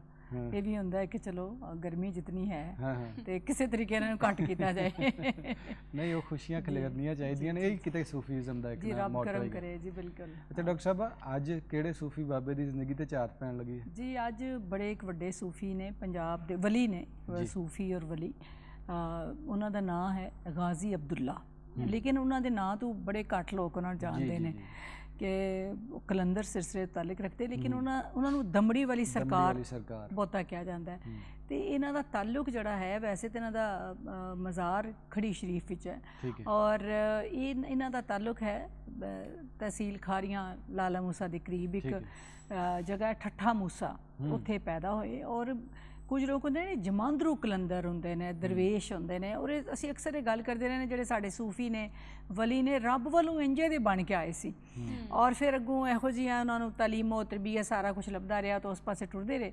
ਤੇ ਇਹ ਇਹ- ਇਹਨਾਂ ਦਾ ਜਿਹੜਾ ਖਾਨਦਾਨ ਸੀ ਸਾਰਾ ਉਹ ਰੂਹਾਨੀ ਜਿਹੜੀ ਹੈ ਨਾ ਸਫਾਤ ਨਾਲ ਮਾਲਾ ਮਾਲ ਸੀ ਔਰ ਫਿਰ ਰੱਬ ਨੇ ਇੱਕ ਇਹੋ ਜਿਹੇ ਖਾਨਦਾਨ 'ਚ ਭੇਜਿਆ ਜਿੱਥੇ ਸਾਰੇ ਬੜੇ ਨੇਕੀ ਪ੍ਰੇਜ਼ਗਾਰ ਦੀਨ ਇਸਲਾਮ ਸਾਰਾ ਕੁਝ ਉਹਦੇ ਨਾਲ ਜੁੜੇ ਹੋਏ ਸਨ। ਤੇ ਬੜਾ ਇੱਕ ਜਿਹੜਾ ਹੁੰਦਾ ਨਾ ਵਲੀ ਔਰ ਸੂਫੀ ਉਹਦੇ ਤੇ ਇੱਕ ਵਕਤ ਆਂਦਾ ਹੈ ਕਿ ਉਹਨੂੰ ਜਲਾਲ ਵੀ ਬੜਾ ਆਂਦਾ ਜਿਸ ਤਰ੍ਹਾਂ ਅਸੀਂ ਬੁੱਲੇ ਸ਼ਾਹ ਦੇ ਵਾਲ ਨਾਲ ਦੇਖਦੇ ਹਾਂ। ਤੇ ਇਹ ਵੀ ਇੱਕ- ਇੱਕ ਮੌਕਾ ਐਸਾ ਆਇਆ ਕਿ ਘਰਦਿਆਂ ਨਾਲ ਦੀ ਕੋਈ ਲੜਾਈ ਹੋ ਗਈ ਗੁੱਸਾ ਚੜਿਆ ਤੇ ਰੁੱਸ ਕੇ ਟੁਰ ਗਏ। ਇਹ ਕਸਬਾ ਹੈ ਪੀਰੋਸ਼ਾ ਔਰ ਇਹ ਚੱਕ ਬਰਾਹਮ ਦੋ ਤਰ੍ਹਾਂ ਦਾ ਇਹਨੂੰ ਕਹਿੰਦੇ ਨੇ ਚੱਕ ਬਹਿਰਾਮ ਔਰ ਚੱਕ ਬਰਾਹਮ। ਤੇ ਉਹ ਉਹਦੇ ਨੇੜੇ ਇੱਕ ਪੀਰੋਸ਼ਾ ਕਸਬਾ ਉੱਥੇ ਚਲੇ ਗਏ। ਉੱਥੇ ਜਾ ਕੇ ਰਹਿਣਾ ਸ਼ੁਰੂ ਕਰਤਾ ਤੇ ਸਾਰੇ ਲੋਕ ਜਾਣਦੇ ਸਨ ਇਹਨਾਂ ਦੀਆਂ ਕਰਾਮਤਾਂ ਨੂੰ ਸਾਰੇ ਕਿ ਵਲੀ ਹੈ ਦਰਵੇਸ਼ ਹੈ। ਤੇ ਇੱਕ ਔਰਤ ਜਿਹੜੀ ਇਹਨਾਂ ਦੇ ਖਾਣ ਪੀਣ ਦਾ ਉੱਥੇ ਇੰਤਜ਼ਾਮ ਕਰਦੀ ਸੀ ਔਰ ਉਹ ਬੇਔਲਾਦ ਸੀ ਤੇ ਉਹ ਨਾਨ ਕੇ ਜਦੋਂ ਵੀ ਇਹਨਾਂ ਨੂੰ ਕੋਲ ਆਉਂਦੀ ਸੀ ਤੇ ਇਹਨਾਂ ਨੂੰ ਕਹਿੰਦੇ ਸੀ ਕਿ ਮੈਂ ਮੇਰੇ ਲਈ ਦੁਆ ਕਰੋ ਕਿ ਰੱਬ ਮੈਨੂੰ ਬੱਚਾ ਦੇ। ਤੇ ਮਤਲਬ ਇੱਕ ਐਸੀ ਹੁੰਦੀ ਹੈ ਨਾ ਕੈਫੀਅਤ ਕਿ ਜਦੋਂ ਬੰਦਾ ਨਾ ਉਮੀਦ ਹੋ ਜਾਂਦਾ ਹੈ ਕਿ ਹੁਣ ਮੇਰੇ ਕੋਲ ਔਲਾਦ ਨਹੀਂ ਮੇਰੇ ਕੋਲ ਹੋਈ। ਤੇ ਇਹਨਾਂ ਨੇ ਕਿਹਾ ਕਿ ਰੱਬ ਕਰਮ ਕਰੇਗਾ ਔਰ ਤੈਨੂੰ ਔਲਾਦ ਹੋਏਗੀ ਲੇਕਿਨ ਤੂੰ ਮੇਰੇ ਨਾਲ ਵਾਅਦਾ ਕਰ ਕਿ ਪਹਿਲਾ ਬੱਚਾ ਤੂੰ ਮੈਨੂੰ ਦੇ ਦੇਂਗੀ ਉਹਨੇ ਕਿਹਾ ਠੀਕ ਹੈ ਮੈਂ ਪਹਿਲਾ ਬੱਚਾ ਤੁਹਾਨੂੰ ਦੇ ਦਿਆਂਗੀ ਤੇ ਇਹਨਾਂ ਨੇ ਦੁਆ ਕੀਤੀ ਔਰ ਰੱਬ ਨੇ ਕਰਮ ਕੀਤਾ ਉਹਨਾਂ ਦੇ ਘਰ ਅ, ਬੇਟਾ ਪੈਦਾ ਹੋਇਆ ਔਰ ਉਹ ਬੇਟਾ ਇਹਨਾਂ ਨੂੰ ਦੇ ਦਿੱਤਾ ਔਰ ਉਹ ਬੇਟਾ ਲੈ ਕੇ ਤੇ ਇਹ ਚਲੇ ਗਏ ਖੜੀ ਸ਼ਰੀਫ ਯਾਨੀ ਜਦੋਂ ਬੇਟਾ ਥੋੜਾ ਥੋੜਾ ਵੱਡਾ ਹੋਇਆ ਅੱਛਾ ਤੇ ਉਹਨਾਂ ਦੇ ਵਾਲੇ ਘਰ ਤਾਂ ਉਹਨੂੰ ਲੈ ਕੇ ਚਲੇ ਗਏ ਹੁਣ ਉਹ ਬੇਟਾ ਕਿਉਂਕਿ ਇਸੇ ਇਲਾਕੇ ਨਾਲ ਮੀਆਂ ਸਾਹਿਬ ਦਾ ਵੀ ਤਾਲੁਕ ਸੀ ਚੱਕ ਬਰਾਹਮ ਨਾਲ ਔਰ ਇਹਨਾਂ ਦੀ ਬਾਕੀ ਫੈਮਿਲੀ ਦਾ ਫੈਮਿਲੀ ਦੇ ਲੋਕ ਹਲੇ ਵੀ ਉੱਥੇ ਹੀ ਰਹਿੰਦੇ ਨੇ। ਇਹ ਜ਼ਿਲ੍ਹਾ ਗੁਜਰਾਤ ਦਾ ਇੱਕ ਪਿੰਡ ਹੈ। ਕਸਬਾ ਹੈ ਤੁਸੀਂ ਕਹਿ ਲਓ ਉੱਥੇ ਹੀ ਰਹਿੰਦੇ ਨੇ। ਸਿਰਫ ਇਹਨਾਂ ਦੇ ਦਾਦਾ ਜਿਹੜੇ ਨੇ ਉਹ ਹਜ਼ਰਤ ਪੀਰਾ ਸ਼ਾਹ ਗਾਜ਼ੀ ਕਲੰਦਰ ਦੇ ਨਾਲ ਖੜੀ ਸ਼ਰੀਫ ਚਲੇ ਗਏ। ਖੜੀ ਸ਼ਰੀਫ ਦਾ ਨਾਂ ਜਿਹੜਾ ਖੜੀ ਸ਼ਰੀਫ ਨਹੀਂ ਹੈ ਖੜੀ ਇੱਕ ਇਲਾਕਾ ਹੈ ਜਿਹਦੇ ਚ 86 ਪਿੰਡ ਨੇ। ਅਸਲ ਉਹਦਾ ਨਾਂ ਹੈ ਚੱਕ ਠਾਕਰਾ। ਲੇਕਿਨ ਉਹ ਫਿਰ ਲੋਕਾਂ ਨੇ ਖੜੀ ਸ਼ਰੀਫ ਕਹਿਣਾ ਸ਼ੁਰੂ ਕਰਤਾ ਤੇ ਉਹਦਾ ਇੱਕ ਤਰ੍ਹਾਂ ਦਾ ਕਹਿ ਗਿਆ। ਮੀਆਂ ਮੁਹੰਮਦ ਬਸ਼ਰੇ ਦੇ ਵਾਲਾ ਜਿਹੜਾ ਸ਼ੇਰ ਲਿਖਿਆ ਉਹ ਕਿ ਕਹਿੰਦੇ ਨੇ ਖੜੀ ਅੰਦਰ ਚੱਕ ਠਾਕਰਾ ਪਿੰਡ ਵੱਡਾ ਸਰਦਾਰ ਜਿਸ ਵਿੱਚ ਵਸੇ ਮੁਹੰਮਦ ਪੀਰਾ ਸ਼ਾਹ ਸੁਚਿਆਰ। ਵਾਹ ਵਾਹ ਕਿ ਉਹ ਕਹਿੰਦੇ ਨੇ। ਖੜੀ ਇੱਕ ਵਾਦੀ ਇਲਾਕਾ ਹੈ ਉਥੇ ਇੱਕ ਵੱਡਾ ਪਿੰਡ ਹੈ। ਤੇ ਉਹਦੇ ਵਿੱਚ ਪੀਰ ਗਾਜ਼ੀ ਸ਼ਾਹ ਕਲੰਦਰ ਰਹਿੰਦੇ ਨੇ। ਵੈਸੇ ਤੇ ਸਾਰੇ ਸਾਡੇ ਸੂਫੀਆਂ ਨੇ ਜਾਂ ਕਲੰਦਰਾਂ ਨੇ ਲੁਕਾਈ ਦਾ ਦਰਸ ਦਿੱਤਾ ਮੁਹੱਬਤ ਵੰਡੀ। ਇਹਨਾਂ ਦੀ ਕਿਹੜੀ ਖਿਦਮਤ ਜਾਂ ਇਹਨਾਂ ਦੀ ਕਿਹੜੀ ਚੀਜ਼ ਬਾਕੀ ਸੂਫੀਆਂ ਜਾਂ ਬਜ਼ੁਰਗਾਂ ਤੋਂ ਇਹਨਾਂ ਨੂੰ ਵੱਖਰਾ ਕਰਦੀ ਹੈ? ਫਿਰ ਇਹ ਹੈ ਕਿ ਕਿਉਂਕਿ ਇਹ ਬਹੁਤ ਵੱਡੇ ਵਲੀ ਸਨ ਔਰ ਇਹਨਾਂ ਤੇ ਬਹੁਤ ਸਾਰੀਆਂ ਚੀਜ਼ਾਂ ਜ਼ਾਹਿਰ ਹੋ ਚੁੱਕੀਆਂ ਸੀ ਉਹਨਾਂ ਦੀ ਬੜੀਆਂ ਕਰਾਮਾਤ ਦੱਸਦੇ ਨੇ ਲੇਕਿਨ ਜ਼ਾਹਿਰ ਕਈ ਕਰਾਮਤਾਂ ਤੇ ਅਸੀਂ ਇਸ ਤਰ੍ਹਾਂ ਸਾਡੇ ਕੋਲ ਲਿਖੀ ਤਾਰੀਖ ਨਹੀਂ ਆਂਦੀ ਔਰ ਨਸਲ ਦਰ ਨਸਲ ਚੀਜ਼ਾਂ ਆਂਦੀਆਂ ਨੇ। ਮੈਂ ਪਹਿਲਾਂ ਵੀ ਜਿਸ ਤਰ੍ਹਾਂ ਦੱਸਿਆ ਕਿ ਮੇਰਾ ਵੀ ਉਸੇ ਇਲਾਕੇ ਤਾਲੁਕ ਹੈ ਤੇ ਕਈ ਚੀਜ਼ਾਂ ਦੇ ਮੇਰੇ ਤੱਕ ਵੀ ਉਹ ਮ- ਵਾਲਿਦੈਨ ਔਰ ਉਹਨਾਂ ਦੀ ਨਿਸਬਤ ਪਹੁੰਚੀਆਂ ਨੇ। ਕਿ ਉਹ ਕਈ ਵਾਰੀ ਐਸਾ ਉਹ ਕਹਿੰਦੇ ਨੇ ਹੋਇਆ ਕਿ ਉਹਨਾਂ ਨੇ ਜਿਸ ਤਰ੍ਹਾਂ ਅਸੀਂ ਅੱਜ ਇੱਥੇ ਬੈਠੇ ਹਾਂ ਤੇ ਹੁਣ ਟੀਵੀ ਲਾਇਆ ਤੇ ਤੁਸੀਂ ਕਿਤੇ ਦੂਰ, ਲੱਖਾਂ ਮੀਲ ਦੂਰ ਵੀ ਤੁਹਾਨੂੰ ਪਤਾ ਲੱਗ ਗਿਆ ਉੱਥੇ ਇਹ ਹੋ ਗਿਆ। ਔਰ ਬਰਾਏ ਰਾਸਤ ਤੁਸੀਂ ਤੱਕ ਰਹੇ ਹੋ। ਇਸ ਤਰ੍ਹਾਂ ਇਹ ਉਸ ਮੁਕਾਮ ਤੇ ਸੀ ਕਿ ਇਹ ਬਰਾਏ ਰਾਸਤ ਚੀਜ਼ਾਂ ਨੂੰ ਦੇਖ ਰਹੇ ਹੁੰਦੇ ਸੀ ਕਿਉਂਕਿ ਕੋਈ ਮੀਡੀਆ ਨਹੀਂ ਹੈ ਲੋਕ ਦੱਸਦੇ ਨੇ ਕਿ ਕਿਸੇ ਵੇਲੇ ਬੈਠੇ ਨੇ ਅੱਖਾਂ ਬੰਦ ਕੀਤੀਆਂ ਨੇ ਤੇ ਇੱਕਦਮ ਇਹਨਾਂ ਨੇ ਪਰੇਸ਼ਾਨ ਹੋ ਗਏ ਨੇ ਇਹਨਾਂ ਨੇ ਸ਼ੋਰ ਕਰਨਾ ਕਰਤਾ ਕਿ ਅੱਗ ਲੱਗ ਗਈ ਅੱਗ ਲੱਗ ਗਈ। ਉਹਨਾਂ ਨੇ ਸਾਰੇ ਅੱਗੇ ਪਿੱਛੇ ਦੇਖਿਆ ਉਹਨਾਂ ਕਿ ਕਿੱਥੇ ਅੱਗ ਲੱਗ ਗਈ ਕੀ ਹੋ ਗਿਆ ਜਾਂ ਸਲਾਬ ਆ ਗਿਆ ਜਾਂ ਹੋਰ ਕੋਈ ਮਤਲਬ ਕਿਸੇ ਵਾਲਾ। ਤੇ ਉਹਨਾਂ ਕਿਹਾ ਕਿੱਥੇ ਕੀ ਹੋਇਆ? ਉਹ ਹਾਲੀ ਵਾਰੀ ਦੌੜਨਾ ਸ਼ੁਰੂ ਕਰਦਾ ਕੁਝ ਨਹੀਂ ਹੋਇਆ। ਬਾਅਦ ਚ ਕਈਆਂ ਦਿਨਾਂ ਬਾਅਦ ਖਬਰ ਆਂਦੀ ਸੀ ਕਿ ਕਿਸੇ ਦੂਰ ਮਤਲਬ ਕਿ ਕੋਈ ਹਜ਼ਾਰ ਮੀਲ ਦੂਰ ਹੈ ਕੰਮ ਹੋਇਆ ਹੈ ਜਾਂ ਦਿੱਲੀ ਚ ਹੋਇਆ ਜਾਂ ਕਿਸੇ ਬਰਸੀਤ ਦੇ ਇਲਾਕੇ ਚ ਹੋਇਆ ਤੇ ਉਹ ਇੱਕ ਜਿਹੜਾ ਮੈਂ ਸਮਝਦੀ ਹਾਂ ਕਿ ਇਹ ਬੜਾ ਇੱਕ ਬਹੁਤ ਵੱਡਾ ਇੱਕ ਰੂਹਾਨੀ ਵੱਲ ਨਾਲ ਸਿਲਸਿਲਾ ਹੈ ਕਿ ਇੱਕ ਬੰਦਾ ਜਿਹੜਾ ਉਹ ਖਾਬ ਦੇ ਆਲਮ ਚ ਵੀ ਨਹੀਂ ਖਾਬ ਚ ਤੁਸੀਂ ਅਕਸਰ ਦੇਖਦੇ ਆ ਦੇਖ ਲੈਂਦੇ ਹਾਂ। ਔਰ ਕੋਈ ਵੀ ਬੰਦਾ ਖਾਬ ਜਿਹੜਾ ਹੈ ਇਹੋ ਜਿਹੀਆਂ ਚੀਜ਼ਾਂ ਦੇਖ ਸਕਦਾ ਹੈ ਕਿਉਂਕਿ ਸਭ ਚ ਰੱਬ ਦੀ ਰੂਹ ਹੈ ਔਰ ਮੈਂ ਤੁਸੀਂ ਸਾਰੇ ਅਸੀਂ ਦੇਖ ਸਕਦੇ ਹਾਂ ਜ਼ਾਹਰ ਹੈ ਸੂਫੀਆਂ ਵਲੀਆਂ ਦੇ ਖਾਬ ਮੁxtਲਿਫ ਹੁੰਦੇ ਨੇ ਥੋੜੇ ਤੇ ਉਹ ਜ਼ਿਆਦਾ ਵਾਜ਼ਿਹ ਹੁੰਦੇ ਅੱਖੀ ਬੰਦ ਕਰਦਾ ਤੇ ਚੀਜ਼ਾਂ ਜ਼ਾਹਰ ਹੁੰਦੀਆਂ ਤਾਂ ਉਹ